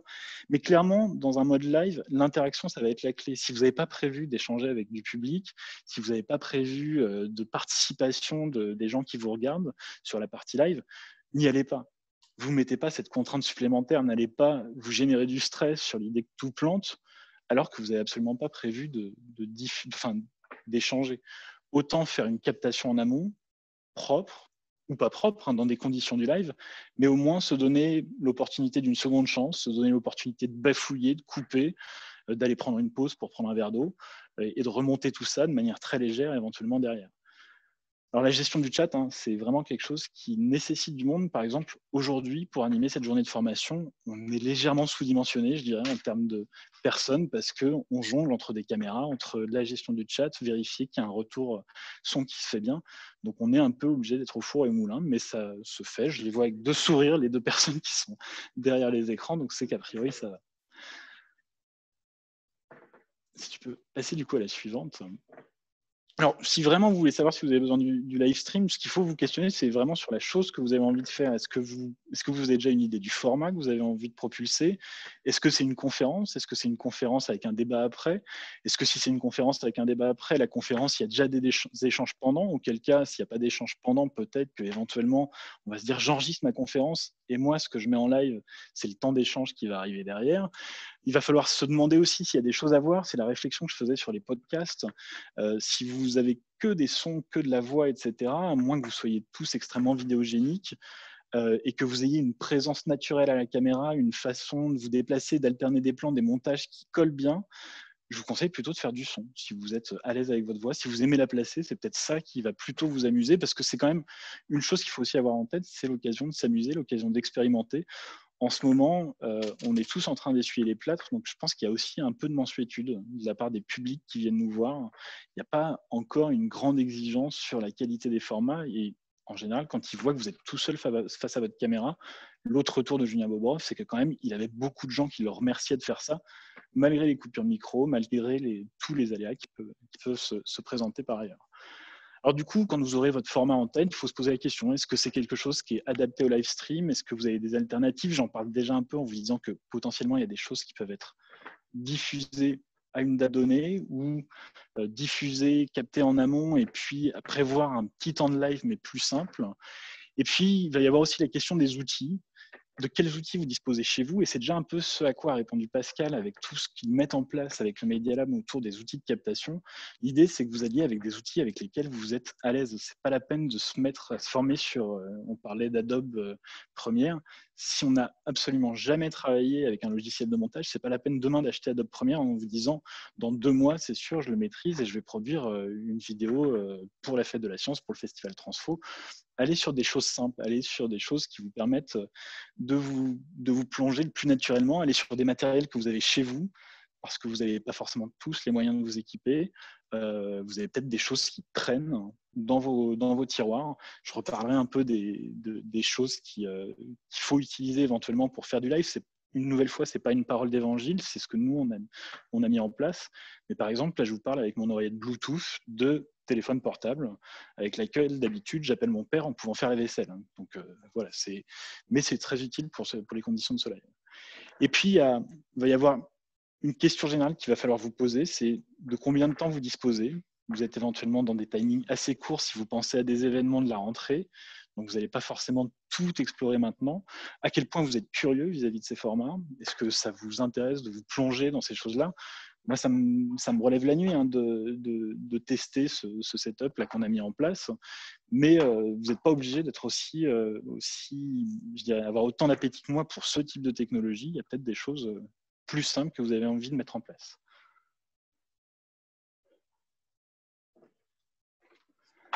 Alors, si jamais vous ne partez pas sur une option de direct, en général, le, le paradigme dans lequel on est qui fait qu'on pense direct, c'est que on a l'habitude de ce qu'on fait d'habitude. On dit, voilà, je, propose une conférence à du public, je lui donne rendez-vous à l'auditorium du muséum. Et je lui ai donné rendez-vous d'habitude samedi. Et les gens viennent là, donc euh, ça, c'est un truc qui se passe en direct. Et ben, je vais le proposer aussi en direct sur le web. C'est pas forcément le cas, c'est pas forcément nécessaire. Ce qui vous intéresse, c'est surtout de créer l'événement, c'est de donner un rendez-vous qui est intenté et c'est comment vous allez donner ce rendez-vous qui va vraiment faire la, chose qui va faire que la, quelque part la, comment on dit la, purée prend. Non c'est pas la purée prend mais bref enfin la mayonnaise prend. Je savais bien que c'était pas la purée. Donc la, mayonnaise prend quelque part, il y a plusieurs façons de faire ça. On a, et, dans notre quotidien, on l'a. On a des groupes de musique qui, euh, qui disent à telle date, je sors mon euh, CD, il sera disponible que sur cette plateforme de streaming et il sera disponible éventuellement de manière éphémère pour les 80 000 personnes qui le téléchargent ou qui l'écoutent. Donc, il y, y a des moyens de créer l'événement. Là, il y a un des moyens qui a été utilisé par exemple par une compagnie de cirque qui s'appelle les Sept Doigts de la Main, qui est la compagnie de cirque qui a fait l'ouverture des JO de Sochi et qui, pendant le confinement, voit tous ces spectacles remis en cause, mais s'est dit comment est-ce qu'on continue de donner des rendez-vous à nos publics? Comment est-ce que nous, on assume une place sur la scène internationale du point de vue du monde du cirque? Et bah, toutes les captations qu'on a pu faire de nos, événements, de nos, spectacles, y compris des captations très limites, avec du son pas terrible, avec des coupures euh, qui, interviennent un peu n'importe où, et ben on va les donner à voir pour un temps limité. Là, si ça vous intéresse, Cuisine et Confession est disponible pour un mois à peu près. Et c'est euh, une façon de créer un rendez-vous. L'autre exemple, c'était finalement Julien Bobrov. Julien Bobrov, deuxième édition de sa conférence confinée, il abandonne l'idée d'être en direct, il s'enregistre, il donne rendez-vous à, un instant T, il s'enregistre, il va diffuser ce qu'il a enregistré à l'instant T, à un rendez-vous qu'il a donné, et la promesse qu'il nous fait, c'est par contre d'être disponible pour parler dans le chat à ce moment-là, pour cette fois-ci être capable d'assumer la modération qu'il n'avait pas été capable d'assumer la première fois parce qu'il était euh, tout seul face à sa caméra. Donc c'est une façon aussi de faire, c'est de chercher du direct en, différé. Et si vous n'êtes pas un fan de montage, ce direct en différé, vous pouvez le faire dans des conditions du live. C'est ce qu'a gardé Julien Boborov de sa première expérience. Il dit, alors le stress de la technique qui me lâche, non. Par contre, ce côté prise unique, euh, ce côté euh, frais, spontané, j'assume mes hésitations, je vais le garder. Donc je fais une prise d'un seul tenant. Je ferai quelques coupes éventuellement par la suite pour enlever des longueurs, pour raccourcir le moment où je me déplace avec ma caméra à la main depuis mon salon jusqu'à ma cuisine. Mais néanmoins, je garde ce côté garage, ce côté bricolé qui avait créé de l'empathie. Et déjà, c'est quelque part qui ressemble un peu plus à du direct. Si vous faites une capsule vidéo très léchée et que vous la mettez en, en ligne en me disant que c'est du direct, ça se voit tout de suite qu'il y a du montage. Et donc ça se voit tout de suite que quelque part il y a tromperie par rapport à cette notion de direct. Donc n'y allez pas avec un format extrêmement léché si vous annoncez que c'est du direct. Donc voilà, en faisant du direct différé, on va maîtriser les aléas, le stress, son temps, on va monter faiblement, on va avoir une gestion plus facile des interactions. Par contre, éventuellement, c'est ce que nous fait comme retour Julien Bobrov, il nous dit j'ai eu quelques personnes qui étaient un petit peu désappointées en disant c'est pas du direct, je vous vois, là, vous êtes en train de me répondre, vous n'êtes clairement pas en train de taper sur votre clavier. Donc, il a géré un peu de frustration dans le chat, mais néanmoins, il a été plus disponible aussi pour échanger avec ces gens qui potentiellement étaient frustrés. Alors, en ayant tout ça en tête, vous allez éventuellement avoir l'envie de vous lancer. Et le mieux, c'est de partir sur des choses simples pour se lancer. une chose très simple, c'est de reprendre tous les outils euh, décrits par Pascal euh, dans le cadre du Media Lab, dans le cadre de cette idée de travailler avec des smartphones parce que quelque part on en a un dans la poche. Peut-être pas de dernière génération, peut-être un Android, et auquel cas ça peut créer quelques couacs, en sachant que l'Android fonctionne plutôt bien pour tout ce qui est diffusion live. Alors, par exemple, un setup très simple, un, environnement de travail très simple, ce serait l'idée d'avoir son téléphone, éventuellement, on l'a dit, un micro-cravate ou un micro-canon, ça dépend de ce que vous voulez prendre comme, euh, comme type de son, et puis ensuite de vous raccorder à des services qui vous proposent de faire de la vidéo en live, ça peut être Facebook, Instagram, YouTube, Periscope, Twitch, Jitsi ou Zoom, qu'on a déjà un peu évoqué. Et si on passe à travers toutes ces choses-là, là, je vais encore une fois insister sur les micros, quelque part, mais euh, en préparant cette formation, j'ai pas mal écouté une chaîne qui s'appelle Notech et quelqu'un qui fait de la vidéo YouTube, alors pas du direct, mais de la vidéo YouTube, et qui fait le retour suivant. Si tu passes à la slide suivante, comme ça je vais pouvoir le lire plutôt que de m'en souvenir de tête. Il dit textuellement, mettre tout son argent dans une caméra, c'est probablement la pire erreur que vous puissiez faire. Les smartphones d'aujourd'hui sont très bons, ils ont une qualité d'image qui est tout à fait acceptable pour se lancer sur YouTube. Par contre, vous pouvez avoir une caméra avec une image un peu crado, ça va donner du style, mais un son un petit peu crado, ça ne donnera rien du tout. Personne ne peut supporter 15 minutes d'un son qui fait mal aux oreilles. Et tous, vous avez probablement fait de la vidéoconférence ces derniers temps. Vous avez eu un collègue qui avait le pire micro de la Terre, et c'est celui qui, quelque part, vous plombait la vidéoconférence, la réunion, parce que euh, il fallait tendre l'oreille, parce que euh, ses interventions n'étaient pas entendues, ou euh, couvraient celles des autres, ou étaient en dessous de celles des autres. Donc c'est la chose que vous ne pouvez pas vous permettre. Donc vraiment, s'il y a quelque chose dans lequel il faut investir, c'est probablement un micro en disant en sachant que quand je dis investir, hein, c'est pas forcément mettre des mille et des cents. Tu mentionnais un micro-cravate, ça coûte une vingtaine d'euros un micro-canon une soixantaine d'euros. Euh, là, peut-être le paradoxe qu'on a sur euh, ce live qu'on anime là en ce moment, c'est que on n'est pas allé utiliser les micro-cravates, les micro-canons qu'on a d'habitude, parce qu'on avait un besoin spécifique qui était de pouvoir se déplacer un peu. C'est comme ça qu'on en est revenu à une oreillette Bluetooth avec, par chance, une oreillette Bluetooth dont le, dont le son n'était pas trop euh, dégueulasse, je dirais, et ça a été une chance parce que en avait quelques-unes des oreilles Bluetooth et une bonne partie produisent un son dégueulasse, se déconnectent quand on se balade un peu partout dans la salle. Donc là, on en a trouvé une qui est assez stable, euh, qui nous a permis de lancer ça. Après, si on avait eu du temps, si on avait eu plus d'argent, si on avait moins essayé de faire les choses euh, très vite, on aurait probablement pu investir. Il existe des petits systèmes qui vous permettent de transformer ce que vous avez déjà en termes de micro en micro sans fil. C'est le cas par exemple du, du Rode Wireless, Go, qui est un petit boîtier que vous allez connecter sur votre euh, micro-cravate par exemple. Vous allez le fixer à la ceinture et de l'autre côté, vous allez mettre l'autre boîtier qui va être relié à votre, à votre PC, à votre smartphone et qui va vous permettre de vous balader, de décorréler et de ne pas vous trimballer avec les 8 mètres de fil. Parce qu'on avait aussi ça comme alternative. On a 8 mètres de fil sur les micro-cravates, on pourrait très bien les utiliser, mais a priori, ce n'était pas notre ambition de se prendre les pieds dans le fil aujourd'hui. Donc voilà, le micro, c'est vraiment un des constituants, euh, je dirais, incontournables. Et euh, quelque part, n'investissez pas dans une caméra. Euh, on a deux approches différentes. hein. On a aussi des gens qui sont fans d'appareils photo et de caméras à la casemate. Le résultat, c'est que on s'empêtre un petit peu dans les, paramètres de la caméra, etc. Alors que les paramètres de son smartphone, on est quand même en général plus familier de tout ça. Alors après, tout ça, vous allez vouloir. Donc ça, c'est le, fameux wireless Go là, de, de chez Rode. Pas- Je ne veux pas forcément faire de placement de produit, d'autant que celui-là coûte 176 euros, donc on est déjà un peu plus au-delà des, des 20 euros des micro-cravates, etc. Simplement, moi, c'est un, un de ceux que j'ai repéré et je pense qu'on est en veille constante en fait à aller chercher des vidéos YouTube de personnes qui nous conseillent, qui nous conseillent parfois de manière euh, un peu des, je dirais avec un peu de placement de produit. On essaye d'être vigilant vis-à-vis de ça, mais néanmoins on, va voir deux trois choses et on essaye de s'inspirer de ces retours d'expérience. Alors la deuxième partie, une fois que vous avez votre téléphone, votre micro-cravate, quelque part, ça c'est assez facile à mettre. hein. Vous pluguez le micro-cravate sur le téléphone, vous choisissez votre plan, et ensuite la question va se poser de sur quoi vous allez diffuser votre vidéo. C'est déjà ce qu'on commençait à aborder en se demandant euh, est-ce qu'il fallait être sur Zoom, est-ce qu'il fallait être sur Facebook, quels sont les droits à l'image, etc. Il y a toute une série de plateformes hein, entre Facebook, Instagram, YouTube, Periscope, Twitch. Je mettrai à part un peu Zoom et Jitsi.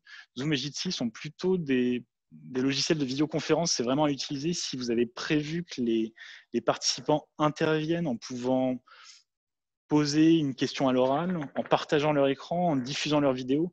Si a priori vous êtes très satisfait de l'idée de simplement avoir quelqu'un qui, vous interpelle via du message, tout le reste va fonctionner et en plus avec un accès plus facile parce que Zoom, on a eu, on a les, cas du fait que Zoom n'est pas accepté partout pour des problèmes de, sécurité, etc.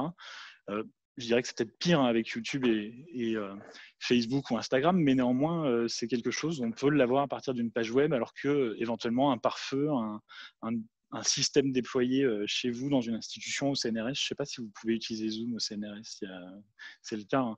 c'est le cas que vous ne pouvez pas l'utiliser, donc, euh, donc voilà, c'est toujours un peu problématique. Alors, dans ce contexte smartphone, il faut avoir en tête aussi que probablement YouTube ne va pas fonctionner parce que YouTube ne vous permet de diffuser en direct depuis votre smartphone que si vous avez 1000 abonnés. 1000 abonnés, je ne sais pas où en sont les chaînes de vos instituts respectifs ou votre chaîne perso.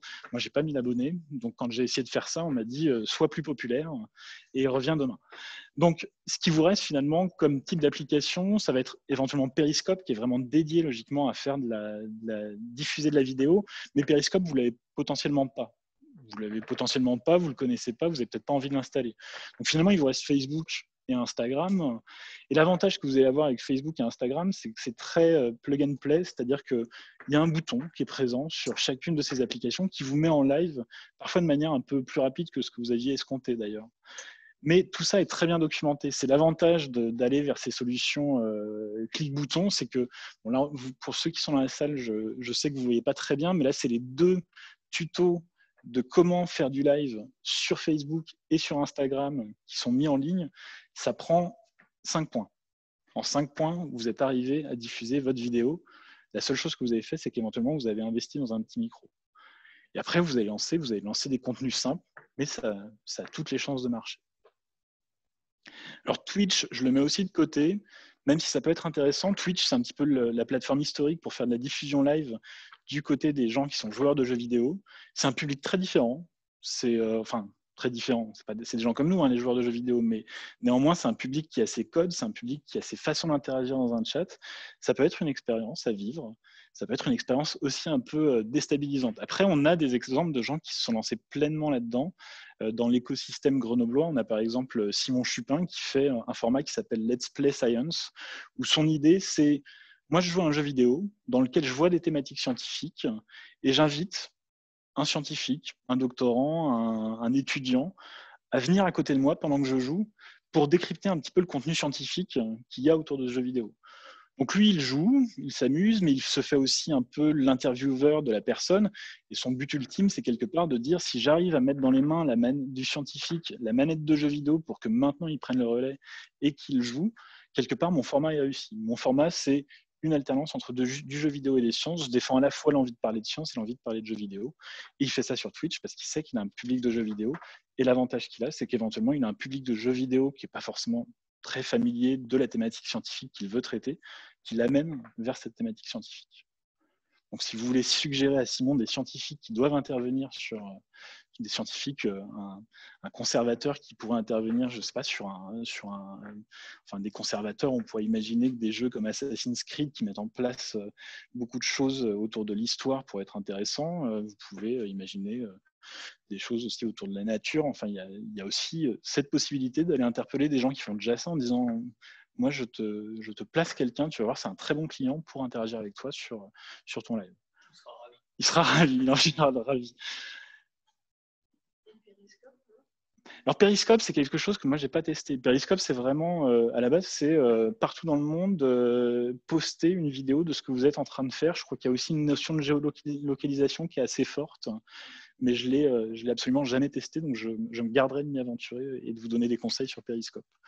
C'est aussi pour ça que je le mets un peu de côté, parce que si demain vous me demandez de vous accompagner sur euh, ces parties live, Periscope, euh, je vais forcément y mettre le nez, mais ce n'est pas la partie sur laquelle je serai le plus pertinent pour vous accompagner. C'est moins utilisé, non Pareil, je connais pas trop, j'avais l'impression que c'était un peu euh, en décroissance. Il y a des modes, il y a effectivement des modes. Ouais. Il y a des modes. Instagram et le live, c'est assez récent aussi. Enfin, le, ils se renouvellent régulièrement. Peut-être lié au fait qu'Instagram et Facebook, c'est la, même, entité en fait derrière. Donc, il y a, il y a aussi des approches euh, légèrement différentes. Alors, si je passe sur la, sur la slide suivante, on va voir si je me souviens bien de comment j'ai construit les choses. Ah oui, j'ai mis beaucoup de liens sur, le, sur la présentation que je vous partagerai ensuite, notamment le lien vers les tutos, etc. Ce qui fait qu'effectivement, quand tu cliques, voilà. J'insiste sur, sur, quelque chose, c'est sur le fait que le live, ça a tout le temps cet, cet, aspect un peu improvisé, comme on est en échange, comme on est disponible pour, euh, pour éventuellement revoir un petit peu le fil de son discours. Euh, ça laisse l'impression que ben, on est arrivé ce matin et on n'y a pas pensé. En vrai, c'est pas si improvisé que ça. Je vous incite vraiment, et c'est ce que tu disais, c'est la chose qu'on met, c'est ce que disait Pascal tout à l'heure, c'est la chose qu'on met trop facilement de côté, le fait de créer son conducteur d'émission, de créer son storyboard d'émission. Et si vous ne le faites pas, vous allez vous retrouver dans des longueurs, dans des moments où vous éternisez, dans des moments où éventuellement ça, ça, tombe vraiment à plat et vous allez avoir du mal à relancer la machine.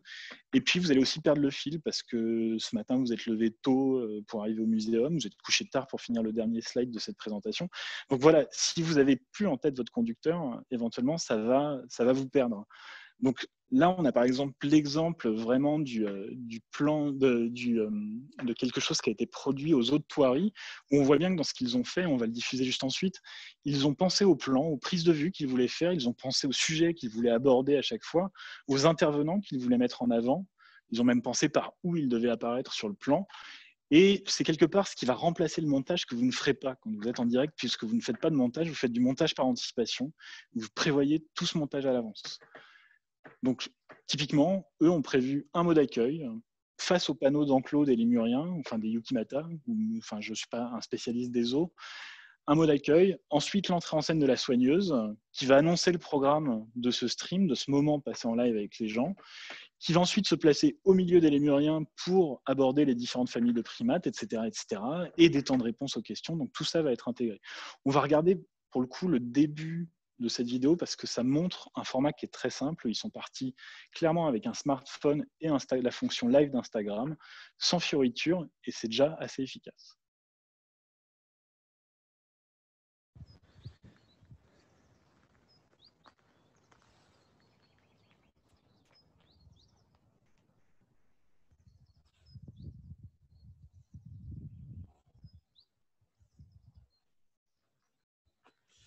Bonjour, bonjour. Vous êtes déjà une trentaine. Super. Vous êtes au rendez-vous. Bienvenue euh, pour ce premier live euh, aux autres Toiries. Donc aujourd'hui, on est, on est au Lémur Trek. On va attendre un tout petit peu que tout le monde arrive là petit à petit. Bonjour à tous, ça fait plaisir de vous voir. Nous manquez beaucoup. hein. On va pouvoir euh, commencer pour aller du, du coup rencontrer les, les Muriens aujourd'hui, donc les Makikata. Et puis en espérant qu'on en fasse d'autres euh, petit à petit. Est-ce que vous entendez bien? Tout va bien? N'hésitez pas, en tout cas pendant le live, si jamais vous avez des soucis au niveau du son ou quoi, de nous, de nous le dire. euh, et puis on, on essaiera de faire avancer tout ça. Ben, on va pouvoir commencer. Bonjour à tous, bienvenue aux de Thoiry. Donc pour euh, cette version un peu inédite, hein, on va aller voir nos makikata. On va faire une petite animation avec eux, un petit goûter. Vous allez voir en plus, dernières semaines pendant le confinement, on a eu plein de naissances et vous allez voir que c'est très craquant. Allez, c'est parti, on y va.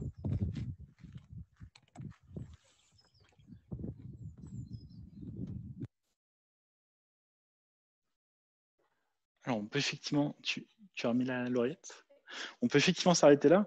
Euh, J'entendais Pascal qui disait c'est pas mal, alors que Pascal a une aversion pour les formats filmés en vertical. On est clairement sur un format Instagram formé en vertical, mais il n'y a quasiment rien hein, d'habillage. Il n'y a pas tous ces, tous ces titres que nous on a pu mettre, etc. dans, dans leurs choses, mais ils ont pensé en fait à ce qu'ils voulaient dire. Ils ont créé de l'alternance de d'intervenants qui va apporter quelque chose. Il y a des moments où on suit la, soigneuse pour aller vers l'enclos. Quelque part, ça apporte de la dynamique. Et il y a cette rupture un peu de la distance qu'on voit où, il y a, où le, finalement le chat est aussi l'allié contre les problèmes techniques en disant n'hésitez pas à nous dire si vous n'entendez rien.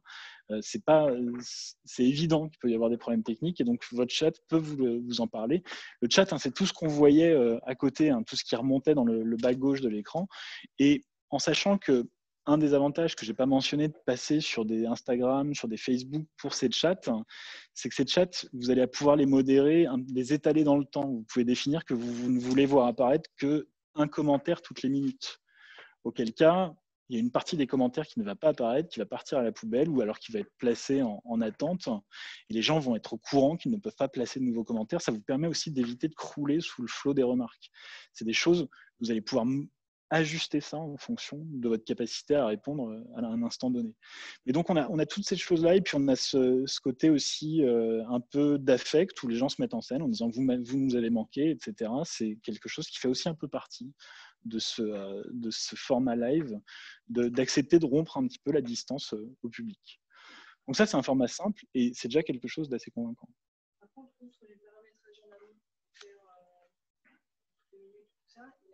Autre. Alors le chat, tu vas, le modérer. Du coup, tu peux, tu es éventuellement, je, suis moins un expert du, chat d'Instagram. Je suis pas sûr que tu puisses supprimer un commentaire, même si en toute logique c'est le cas. C'est le cas, hein, on est d'accord. Euh, mais tu vas être plutôt sur un mode d'interaction où tu réponds euh, par la voix, c'est-à-dire que tu vois quelque chose qui passe et, tu, et toi tu réponds euh, ce qu'on fait plus ou moins. Là, on est sur quelque chose d'un peu alterné euh, entre le chat euh, sur, euh, sur Zoom et, où Pascal tape éventuellement des réponses pendant que moi je continue à dérouler le, fil. C'est aussi des choses qui peuvent être faites, mais, mais voilà, il y a, cette possibilité donc, de rejeter des commentaires et cette possibilité de, répondre en, direct, ce qui est censé faire le sel un peu de, la chose. Ce qui peut aussi faire la difficulté de la chose.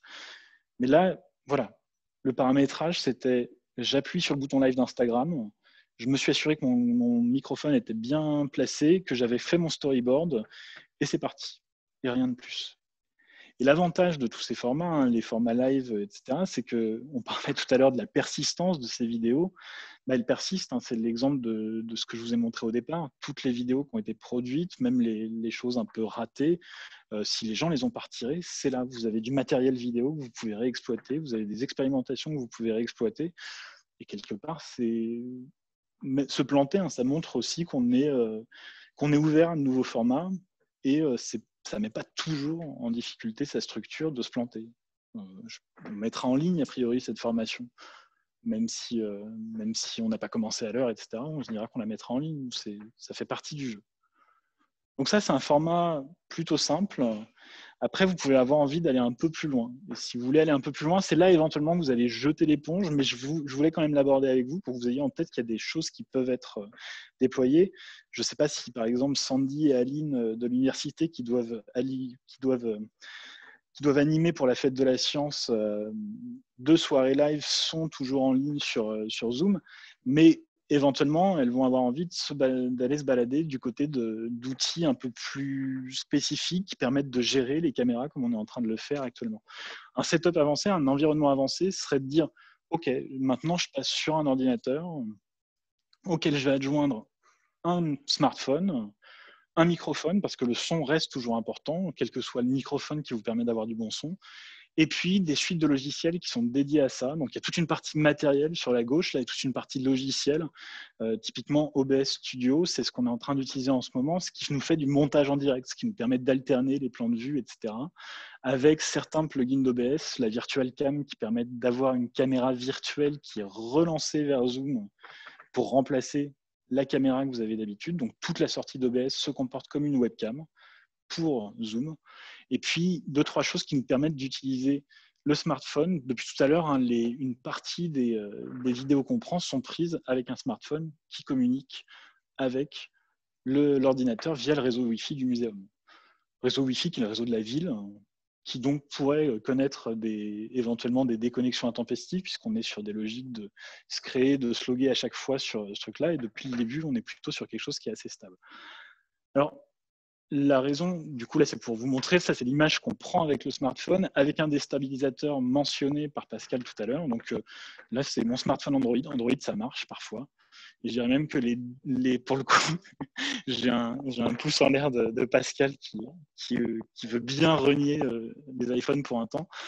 Euh, avec pour le coup même une meilleure compatibilité d'Android avec le OBS pour le coup. Donc si, si vous avez tous des, choses qui marchent sous Android, vous aurez plusieurs petits outils qui vont être plus, plus spécifiquement dédiés à Android. Alors, vous pouvez vous dire pourquoi est-ce qu'il nous a ramené un smartphone, puisqu'on on a un, on a un, PC à disposition, c'est parce qu'en fait, c'est très bien de passer sur un ordinateur, on a plus de puissance de calcul, c'est chouette, on fait tourner des applications, mais comme les smartphones ont des problèmes euh, intrinsèques, un mauvais micro, euh, les euh, PC ont aussi leurs problèmes. C'est qu'en général, votre PC, si c'est un PC fixe, fixe, vous n'avez plus de webcam sur, sur ce type de PC, ou alors c'est intégré à votre écran, à votre écran mais elle n'est pas forcément très malléable, notamment si vous voulez faire des plans de la salle, vous n'allez pas bouger tout votre ordinateur et votre écran. Et en général, elle est d'une résolution qui est plutôt moyenne. On remet des micro-cravates aussi parce que le microphone intégré de votre ordinateur n'est pas forcément très bon. Donc on essaye de pallier aux, difficultés intrinsèques liées à l'ordinateur en utilisant un smartphone. On l'a dit, un smartphone, c'est une qualité euh, d'image qui est largement suffisante pour les besoins qu'on en a. Et à partir du moment où ce smartphone est sur le même réseau Wi-Fi que notre ordinateur, avec deux petits logiciels qui s'appellent DroidCam Ops pour OBS, en fait, pour euh, Open Broadcaster euh, Software, ou DroidCam X, qui est une version payante de DroidCam, vous allez pouvoir rediffuser sur votre ordinateur l'image de votre smartphone. Alors pour fonctionner avec OBS ou pas, ça dépend, euh, ça dépend que, quels sont les besoins. DroidCam OBS a l'avantage d'être quelque chose qui en fait est intégré à OBS. Vous installez une petite appli sur votre smartphone et ça y est, ça se comporte comme une webcam et vous le lancez alors c'est d'ailleurs une chose qu'il faut avoir en tête, vous le lancez, ça se lance euh, juste par un clic en configurant l'adresse IP de votre, euh, de votre smartphone dans OBS. Et derrière, ça fonctionne en permanence, c'est-à-dire ça se relance quand on veut, l'écran est coupé, vous allez consulter vos mails, etc. Ça continue de filmer. Méfiez-vous d'ailleurs parce que ça continue de filmer alors que vous pensiez que vous n'étiez plus en train de filmer. Donc c'est comme ça que quand vous allez, euh, c'est ce qui m'est arrivé hier, en allant aux toilettes euh, à la casemate, vous oubliez que vous êtes en train de tester tout votre setup de stream avec votre téléphone dans la poche aux toilettes. Il est resté dans la poche, c'est mon avantage. Voilà, donc avoir conscience de ces choses-là. Et donc ce téléphone va vous servir de seconde webcam. Et ensuite, finalement, toute la difficulté de cette cette configuration qui commence à être un peu aller au-delà de cette idée un smartphone, un micro, ça va être le logiciel que vous mettez derrière. Ça va être d'apprendre à l'utiliser, d'apprendre à, l'apprivoiser, ce qu'on fait en permanence. On apprend, par exemple, en ce moment même, on apprend à interagir tous les trois autour de ce logiciel. Quand on entend Open Broadcaster Software, c'est la question qui nous était posée, est-ce qu'on va parler de broadcast? OBS, c'est un outil qui est là pour faire du montage, c'est-à-dire que dans l'interface, si tu peux mettre en fenêtré l'intervenant, ce serait chouette. dans l'interface, on va avoir la possibilité de glisser différentes sources, une caméra, une image, les logos de votre institution. Vous allez aller les placer ici en allant les chercher sur votre ordinateur, en allant chercher euh, toutes ces choses-là. Et vous allez fonctionner comme vous fonctionnerez avec, euh, finalement, si vous êtes familier des outils de graphiste comme, euh, comme je dirais, allez, celui qui me vient en tête, c'est Illustrator, mais on a aussi Inkscape. Vous allez jouer avec des calques pour placer de l'information à l'écran, pour la, pour l'agencer. Et c'est du montage en direct. Si là, on a fait le choix, nous, de peu toucher à ce qu'on avait fait pour éviter de tout faire cracher, mais je ne te demande pas de le faire. Mais si, euh, si on voulait, on pourrait changer la position des images juste par des glissés-déposés dans les différents endroits. Et finalement, ce que vous allez faire avec ça, c'est gérer vos sources, gérer des incrustations, gérer les bascules entre les scènes. Mais depuis tout à l'heure, tout ce qu'on gère, c'est à partir de quatre, uniquement de quatre sources. Et si tu vas sur la, la scène source, parce que ça va être la spécificité, vous allez avoir des scènes préenregistrées sur lesquelles vous allez cliquer. Là, il suffit pour moi de demander à Marlène si elle peut activer la scène source et j'ai les quatre interfaces avec lesquelles on jongle depuis tout à l'heure. On jongle avec en bas à gauche l'intervenant qui est pris via la webcam qui est face à moi. J'en reparlerai de cette nécessité ou pas d'une webcam. On a ici le smartphone en bas à droite euh, qui est en train d'être piloté par Marlène avec un stabilisateur pour montrer différentes choses, pour montrer notamment l'interface. L'interface qui est aussi montrée en haut à gauche, c'est-à-dire que j'ai choisi de partager un des deux écrans sur lesquels on travaille. On a deux écrans pour travailler. C'est peut-être la chose qu'il faudrait que je rajoute d'ailleurs dans le, dans le descriptif de ce que j'ai utilisé ici. Et puis l'écran sur lequel on, diffuse les slides. Vous pouvez imaginer diffuser des vidéos là-dessus. Vous pouvez imaginer d'être en train de faire une session d'apprentissage d'un logiciel et de diffuser l'interface de votre logiciel pour que les gens puissent, avec vous, suivre une session de formation en ligne. Donc voilà, vous allez jouer avec ces quatre sources, les agencer, créer des scènes préconstruites. Et c'est le moment où revient en fait votre idée de storyboard. Il va falloir venir jouer avec ce storyboard. Alors, l'avantage d'OBS, bon, outre qu'il est open source, si vous êtes sensible à les questions, c'est que c'est un outil qui va être multiplateforme. C'est-à-dire que vous l'utilisez pour prendre des vidéos, pour les enregistrer sur votre PC, ça marche. Vous allez euh, faire un enregistrement de votre montage vidéo comme vous auriez agencé un plateau TV. Vous voulez faire de la diffusion en direct, vous allez avoir un menu sur OBS qui va vous proposer de diffuser sur votre chaîne YouTube, sur votre chaîne Facebook, sur Twitch, sur d'autres outils euh, qui proposent euh, ces services de diffusion. Et finalement, vous n'allez pas être obligé de vous recommencer votre, euh, votre agencement de fenêtre à chaque fois que vous passez d'un outil à un autre. Vous avez la chose qui vous plaît sur OBS, les choses qui font votre identité graphique, l'identité de votre événement, et à chaque fois, vous allez les réutiliser, quelle que soit la plateforme sur laquelle vous allez. Vous allez pouvoir aussi partager ces outils, c'est-à-dire que demain, si on y arrive à créer des, des scènes préconstruites pour un événement comme la fête de la science, à tout, hasard, on peut exporter un profil avec ces scènes préconstruites, vous les envoyez et vous les mettez dans OBS. Et demain, vous n'avez même pas à construire ces scènes, même pas à intégrer les éléments graphiques. Vous les aurez à votre disposition. La seule chose que vous avez à vous demander, c'est est-ce que j'ai bien ma caméra qui rentre dans la petite fenêtre en bas à droite ou est-ce que c'est bien ma caméra qui est reconnue, mon smartphone qui est reconnu? Donc c'est assez malléable et c'est euh, voilà, c'est multiplateforme, c'est ce qui va être euh, plutôt intéressant là-dessus. Ça devient un petit peu plus embêtant dès qu'on commence à utiliser des logiciels de vidéoconférence. C'est le cas sur lequel on est là actuellement avec Zoom, où ça sort pas complètement de la, de la, du chapeau. Il faut euh, mettre en place des petits plugins d'OBS, la caméra virtuelle que je mentionnais tout à l'heure, alors que d'habitude c'est juste je veux diffuser sur ma chaîne YouTube, je diffuse sur ma chaîne YouTube, je m'embête pas activer tout un, tout un tas de, paramètres.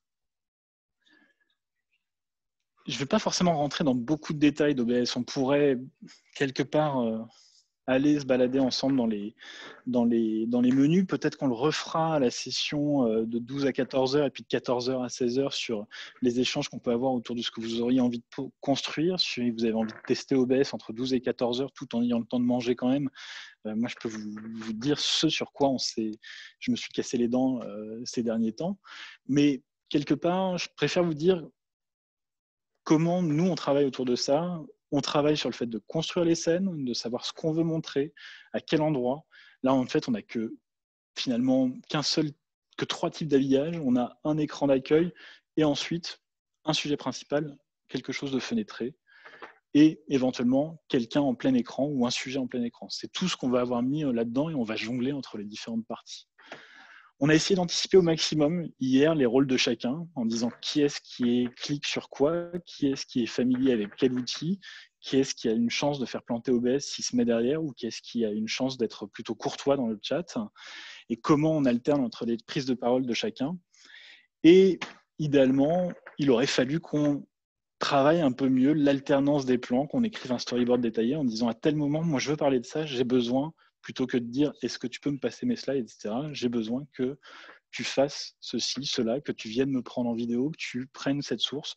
On aurait pu éventuellement aller un peu plus, euh, un peu plus dans le détail de ce point de vue.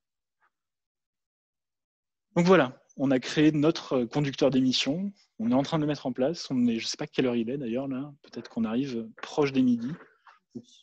Plus. Je suis toujours bavard. Euh, donc en tout cas, voilà, c'est la chose que vous pouvez essayer de mettre en place. C'est ce qu'on a essayé de mettre en place. Nous, on expérimente aussi. On se casse la figure aussi sur ces, outils, mais, euh, mais, ça nous fait assez rire de, les tester. Si vous voulez aller encore plus loin, mais je vous y incite pas parce que moi je me suis cassé les dents. Enfin, si essayez comme ça, vous nous ferez des retours d'expérience et c'est vous qui serez là la prochaine fois. Mais il y a aussi possibilité d'utiliser des outils comme Restream.io. Là, cette fois-ci, c'est encore un outil supplémentaire, c'est-à-dire que OBS, vous allez pouvoir lui dire diffuse sur Restream.io, qui est une plateforme qui s'assure de rediffuser sur toutes les autres plateformes. Restream, c'est je veux avoir un live en même temps sur Facebook, YouTube et Instagram parce que je veux toucher un maximum de monde, et ben je diffuse via Restream et OBS me permet éventuellement d'alimenter Restream pour être présent sur tous mes réseaux sociaux. Donc, je vous ai déjà mentionné que l'utilisation d'OBS et d'un logiciel de visioconférence, ça marche, mais c'est un petit peu plus technique, euh, notamment sur la gestion du son. On a beaucoup transpiré hier en pensant qu'on ne pourrait pas proposer de son aux personnes qui étaient en ligne. En fait, finalement, on se rend compte que ce qu'on n'arrive pas à faire, c'est proposer du son aux personnes qui sont dans la salle. Donc, euh, réfléchissez bien aussi, vous ne laissez pas absorber par le fait que vous êtes sur un format en ligne, si vous êtes sur des formats hybrides, salle, en ligne. Ne négligez pas le fait qu'il y a aussi des gens qui sont venus euh, vous voir et que vous ne devez pas tout au stream, mais vous devez aussi une partie à la salle. Euh, si vous voulez mettre plusieurs caméras, là pour le coup, moi j'ai fait l'erreur d'acheter une webcam pour cette configuration en pensant que webcam voulait dire euh, meilleure image. Euh, je me suis même laissé tenter par une webcam à 150 euros euh, parce que c'était écrit en gros sur les logiciels, sur les sites marchands que c'était une webcam pour le stream. Finalement, cette webcam n'est pas arrivée, donc je vais renvoyer ma commande. Mais là, j'ai une webcam d'entrée de gamme trouvée dans un magasin qui le vend du côté de la place Victor Hugo. Et qui coûte une cinquantaine d'euros et qui fait déjà un bon travail. Alors, je sais que les gens qui sont dans la salle ne s'en rendent pas compte. C'est plutôt le vidéoprojecteur qui est malheureusement accusé du manque de résolution. La résolution, je suis désolé pour l'équipe du muséum, mais, euh, mais pour le coup, elle fait un très bon travail. Mais à vrai dire, j'en avais pas besoin. J'aurais pu piquer un des téléphones de, mes deux comparses et de m'en servir comme d'autres caméras pour mettre en place cette chose-là. Donc c'est complètement possible de d'œuvrer qu'avec des téléphones et de pas s'encombrer de caméras. La seule limitation, ça va être éventuellement votre réseau Wi-Fi et sa capacité à gérer tous les flux qui viennent de tous vos smartphones, si vous passez par ce, type de, choses. Et ensuite, j'aurais tendance à vous orienter vers les ressources complémentaires qu'on peut trouver. Il y a les... Est-ce que j'ai mis le lien ici? Sinon, il faudra que je remette le lien. L'AMSTI a fait un webinaire, c'est tout ce que je raconte par exemple sur Julien Bobroff et son expérience du live, je le tire du webinaire organisé par l'AMSTI, dans lequel Julien Bobroff est venu relivrer son retour d'expérience, principalement en forme de quel est mon affect vis-à-vis de cet outil, comment je me suis mis en place avec ce que j'avais à disposition?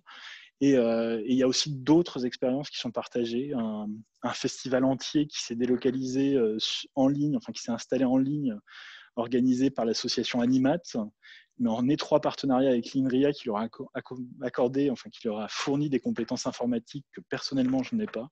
Je ne serais pas capable de monter leur événement, euh, même pas, je crois, le, mot d'accueil de l'événement, je suis capable de l'organiser. Euh, et il y a aussi des, ressources complémentaires qui viennent euh, d'Unia du, du, labo des, savoirs à Nantes, qui a aussi pas mal exploré ces différents formats live.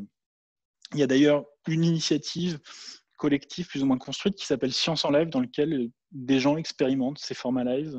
C'est une sorte de plateforme communauté pour partager du contenu live, mais aussi des gens qui sont très, je dirais, très militants sur le fait de défendre l'utilisation du live dans la culture scientifique et d'essayer d'explorer, d'expérimenter, de construire des ressources, des ressources communes pour euh, faciliter la vie de chacun autour de ça. Et je ne sais pas si Kimberly, qui est à la coordination régionale de la fête de la science, est toujours en ligne, mais Kimberly a aussi un excellent document dans lequel elle a résumé tous les formats qu'elle a vu passer du point de vue live, mais enfin toutes les initiatives numériques qu'elle a vu passer ces derniers temps et qui seraient réadaptables. Là, je parle dans un événement type fête de la science. Et pour le coup, je me suis beaucoup appuyé sur son document aussi pour nourrir cette présentation. Donc, je tiens à l'en remercier. Et si son document est public, ce serait chouette qu'elle puisse aussi le partager avec les participants. Voilà, je ne vais pas en dire beaucoup plus. Le résumé, c'est quelque part, c'est expérimenter. Il y a une multitude de choses. Il y a le droit de se casser la figure. Il faut profiter de ce moment. On est encore dans un moment d'expérimentation on ne nous demande pas forcément d'être à l'aise. C'est aussi des choses pour l'avenir. On ne sait pas où on en est de cette crise sanitaire. On ne sait pas euh, si demain on sera toujours contraint d'être beaucoup présent sur des formats numériques. Euh, et n'hésite J'espère que la personne ne s'est pas, pas blessée. N'hésitez pas à vous lancer. Euh, questionnez quand même pourquoi vous vous lancez, mais n'hésitez pas. N'hésitez pas à venir nous solliciter pour des retours d'expérience, pour des conseils. On le fera si on est pertinent de vous donner des conseils. Et tester, tester, tester énormément en amont pour éviter de tester jusqu'à pas d'heure le soir euh, et de vous arracher les cheveux sur, un micro qui ne marche pas pour une raison obscure. Et, privilégier quelque chose de simple quelque chose de simple que vous savez faire. Essayez de vous concentrer sur ce qui vous intéresse aussi. Ce n'est pas forcément tout cet aspect technique. Vous avez un message que vous voulez aborder, vous avez des gens que vous voulez mettre en contact du public. Essayez d'aller vers du, une technique simple pour vous concentrer sur ce que vous savez faire, parler de vos sujets, parler de vos contenus. Voilà ce que je pouvais en dire. Je ne sais pas s'il y a des, questions autour de ça. Je sur, euh, sur, le chat. Le chat s'est endormi, du coup. Ah oui, ne pas. Alors, par exemple, sur le, sur le festival, euh, là je vais prendre le cas concret du festival d'Animat, qui est le festival du jeu mathématique qu'ils organisent à Paris, qui est un gros salon dans lequel il y a différents intervenants sur des stands où ils ont généralement deux, trois personnes par stand. Et là, ce qu'ils ont voulu mettre en place, c'est chaque stand avait sa, diffusion propre, euh, sa salle propre, avec lesquelles les gens pouvaient venir intervenir. Et ils se sont rendus compte qu'en vérité, en voulant faire ça, alors qu'ils s'étaient écartés du côté recevoir du public sur place, ils avaient plus de personnes présentes sur le stand en ligne quand il l'animait en ligne que quand il l'anime en physique. Parce qu'ils se sont retrouvés à avoir quelqu'un qui gérait le, chat, qui modérait des commentaires, ils se sont retrouvés avec quelqu'un qui était, euh, qui était un petit peu la personne ressource technique, avec la personne qui était l'intervenant, à proprement parler, et qui potentiellement, techniquement, euh, n'était pas au point, donc avait besoin énormément de se faire accompagner. Il y avait besoin d'aiguiller les gens. Ils se sont rendus compte que quand vous organisez un live comme ça, euh, par exemple sur le cas de leur festival, nous, quand on organisait le salon, si quelqu'un est perdu, il y a toujours l'accueil du festival. Il y a toujours moyen de tomber sur un stand par hasard. Hein. Sur Internet, quand quelqu'un est perdu, il est définitivement perdu. S'il n'a pas le lien pour participer, bah, il n'arrivera jamais jusqu'à vous. Il ne va, pas, va pas tester 20 000 euh, choses dans, son moteur de recherche préféré pour, euh, pour, vous trouver.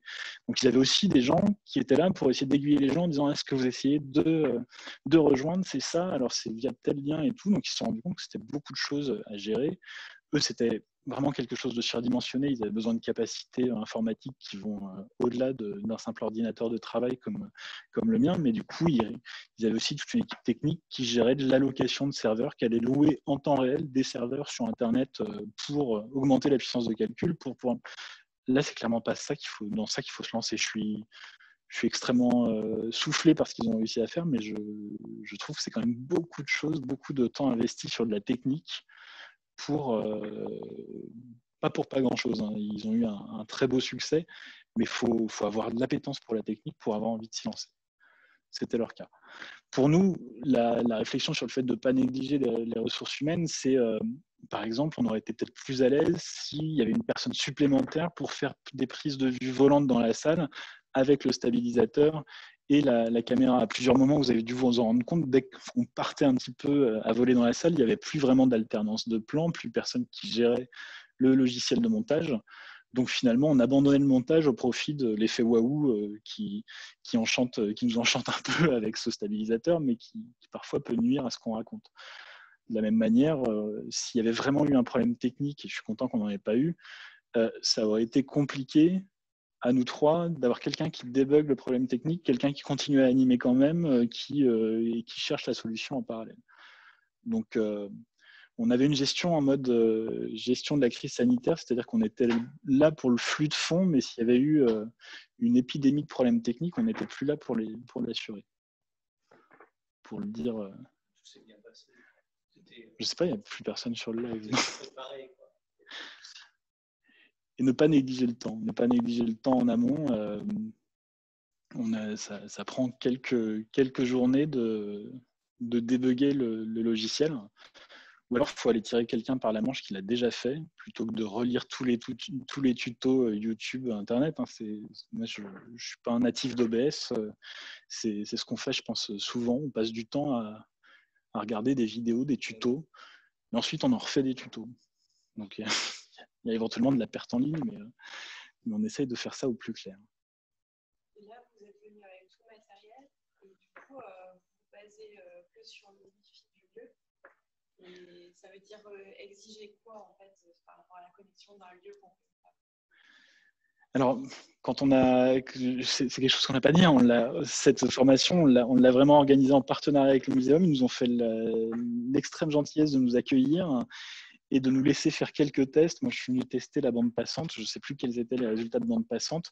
Je vous avoue qu'ils m'avaient l'air plutôt satisfaisants. Et comme je n'avais pas de lieu alternatif, je me suis dit qu'ils seront satisfaisants. J'étais un peu angoissé sur le fait qu'on est connecté sur un hotspot de la ville de Grenoble et que je me disais, on va se faire euh, dégager tous nos, tous nos outils euh, en permanence. Et euh, ça, c'était la, chose que je pensais avoir à gérer ce matin plutôt par une annulation de la partie en live, hein, si ça avait été le cas, mais, euh, mais ça n'a pas été le cas. Donc, euh, donc on est arrivé vraiment avec notre matériel. Si éventuellement tu veux le filmer, euh, Marlène, juste pour, pour montrer qu'il n'y a pas grand-chose en vrai. je sais que ça fait plein de fils partout, mais il y a, il y a un écran secondaire pour apporter un peu de, flexibilité, un ordinateur portable pour tout ce ce qu'on souhaite diffuser un clavier sans fil, mais ça on s'en fiche, une souris ergonomique pour éviter de choper des, tendinites, mais ça on s'en fiche, euh, le microphone, euh, donc l'oreillette Bluetooth, une caméra qui est juste en face de moi qui fait la prise de, vidéo, un, trépied qui est, sur le bord du bureau euh, ici, le la spécificité qu'on avait là, c'est qu'on avait envie de proposer aux gens qui étaient dans la salle la même expérience que aux gens qui étaient en ligne. C'est la raison pour laquelle on a un deuxième ordinateur sur lequel Pascal est connecté à Zoom comme simple participant pour remettre ça sur le vidéoprojecteur de la salle et dire voilà, c'est notre à la fois notre retour vidéo qui nous assure qu'on n'est pas en train d'avoir le, le, live qui tombe, mais c'est aussi l'égalité entre les gens qui ont pu se déplacer et ceux qui n'ont pas pu. C'est la même expérience la distanciation sociale, enfin physique, en, moins ou en plus, plus accentuée. Et derrière, on a effectivement un trépied, un stabilisateur et, une webcam supplémentaire, mais il y a peu, vraiment peu de choses. Et la seule chose qu'on a demandé au muséum, c'est finalement le vidéoprojecteur, la possibilité de s'y raccorder avec un câble VGA et ce qui nous a bien aidé, c'est que euh, Pascal vienne nous apporter euh, et nous brancher le micro pour pouvoir le diffuser pour pallier ce problème de son qui n'arrivait pas dans la salle, qu'on a fait un petit peu en mode bricolage garage, avec le micro qui prenait en fait la sortie, enfin le qu'on a glissé dans mon casque pour euh, avoir le casque qui diffusait le son dans les haut-parleurs de la salle. Donc ça, c'était pas la partie la plus propre et la mieux, la mieux anticipée, mais avec un bon micro, néanmoins.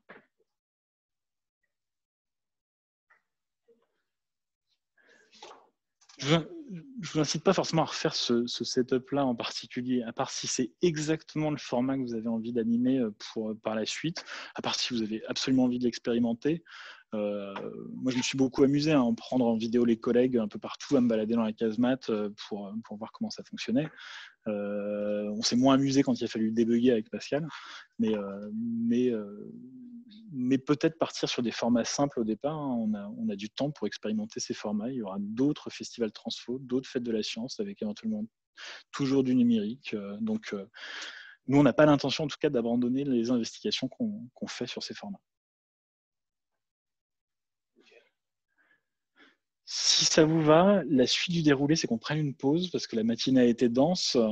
Entre 12h et 14h, si vous avez envie de sortir vos téléphones, de, nous piquer éventuellement un micro-cravate pour faire des tests, je ne sais pas si on a beaucoup de micro-cravates, mais si vous avez envie de faire des, des captations pour voir si ça fonctionne, etc. Si vous avez apporté un ordinateur portable, je pense aussi aux gens en ligne qui ont éventuellement tout ça plus facilement apporté vous pouvez travailler sur des bouts de choses, sur des amorces de, de, projets, sur une petite captation pour euh, bénéficier ensuite de 14h à 16h du regard de Pascal sur euh, ce que vous avez produit, sur ces amorces, euh, du regard de Marlène qui a quand même un gros, un gros œil, œil, hein, enfin une belle vision pardon, de, de ces formats et qui a énormément travaillé là-dessus à la casemate. Et si vous avez envie, entre 12h et 14h, de vous lancer dans la douce aventure OBS, moi, je serai aussi euh, disponible pour débugger du logiciel euh, OBS qui est très peu buggé en vrai. Voilà, il n'y a pas d'obligation hein, sur, euh, sur le fait que vous ayez envie de tester quelque chose. En tout cas, voilà, c'est un petit peu en mode porte ouverte. Après, nous, on sera là. Donc, si vous pouvez nous montrer des choses, on les regarde. Puis s'il n'y a pas de choses à regarder, on reviendra plus tard. quoi, c'est pas grave.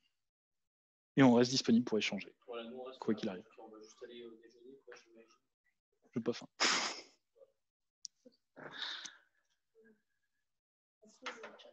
Pour les gens qui sont en ligne, du coup, on va se reconnecter vers 14h si vous voulez être là à nouveau de 14h à 16h. Ce sera des temps d'échange, des temps de retour. Euh, N'hésitez pas à, venir nous tirer par la manche.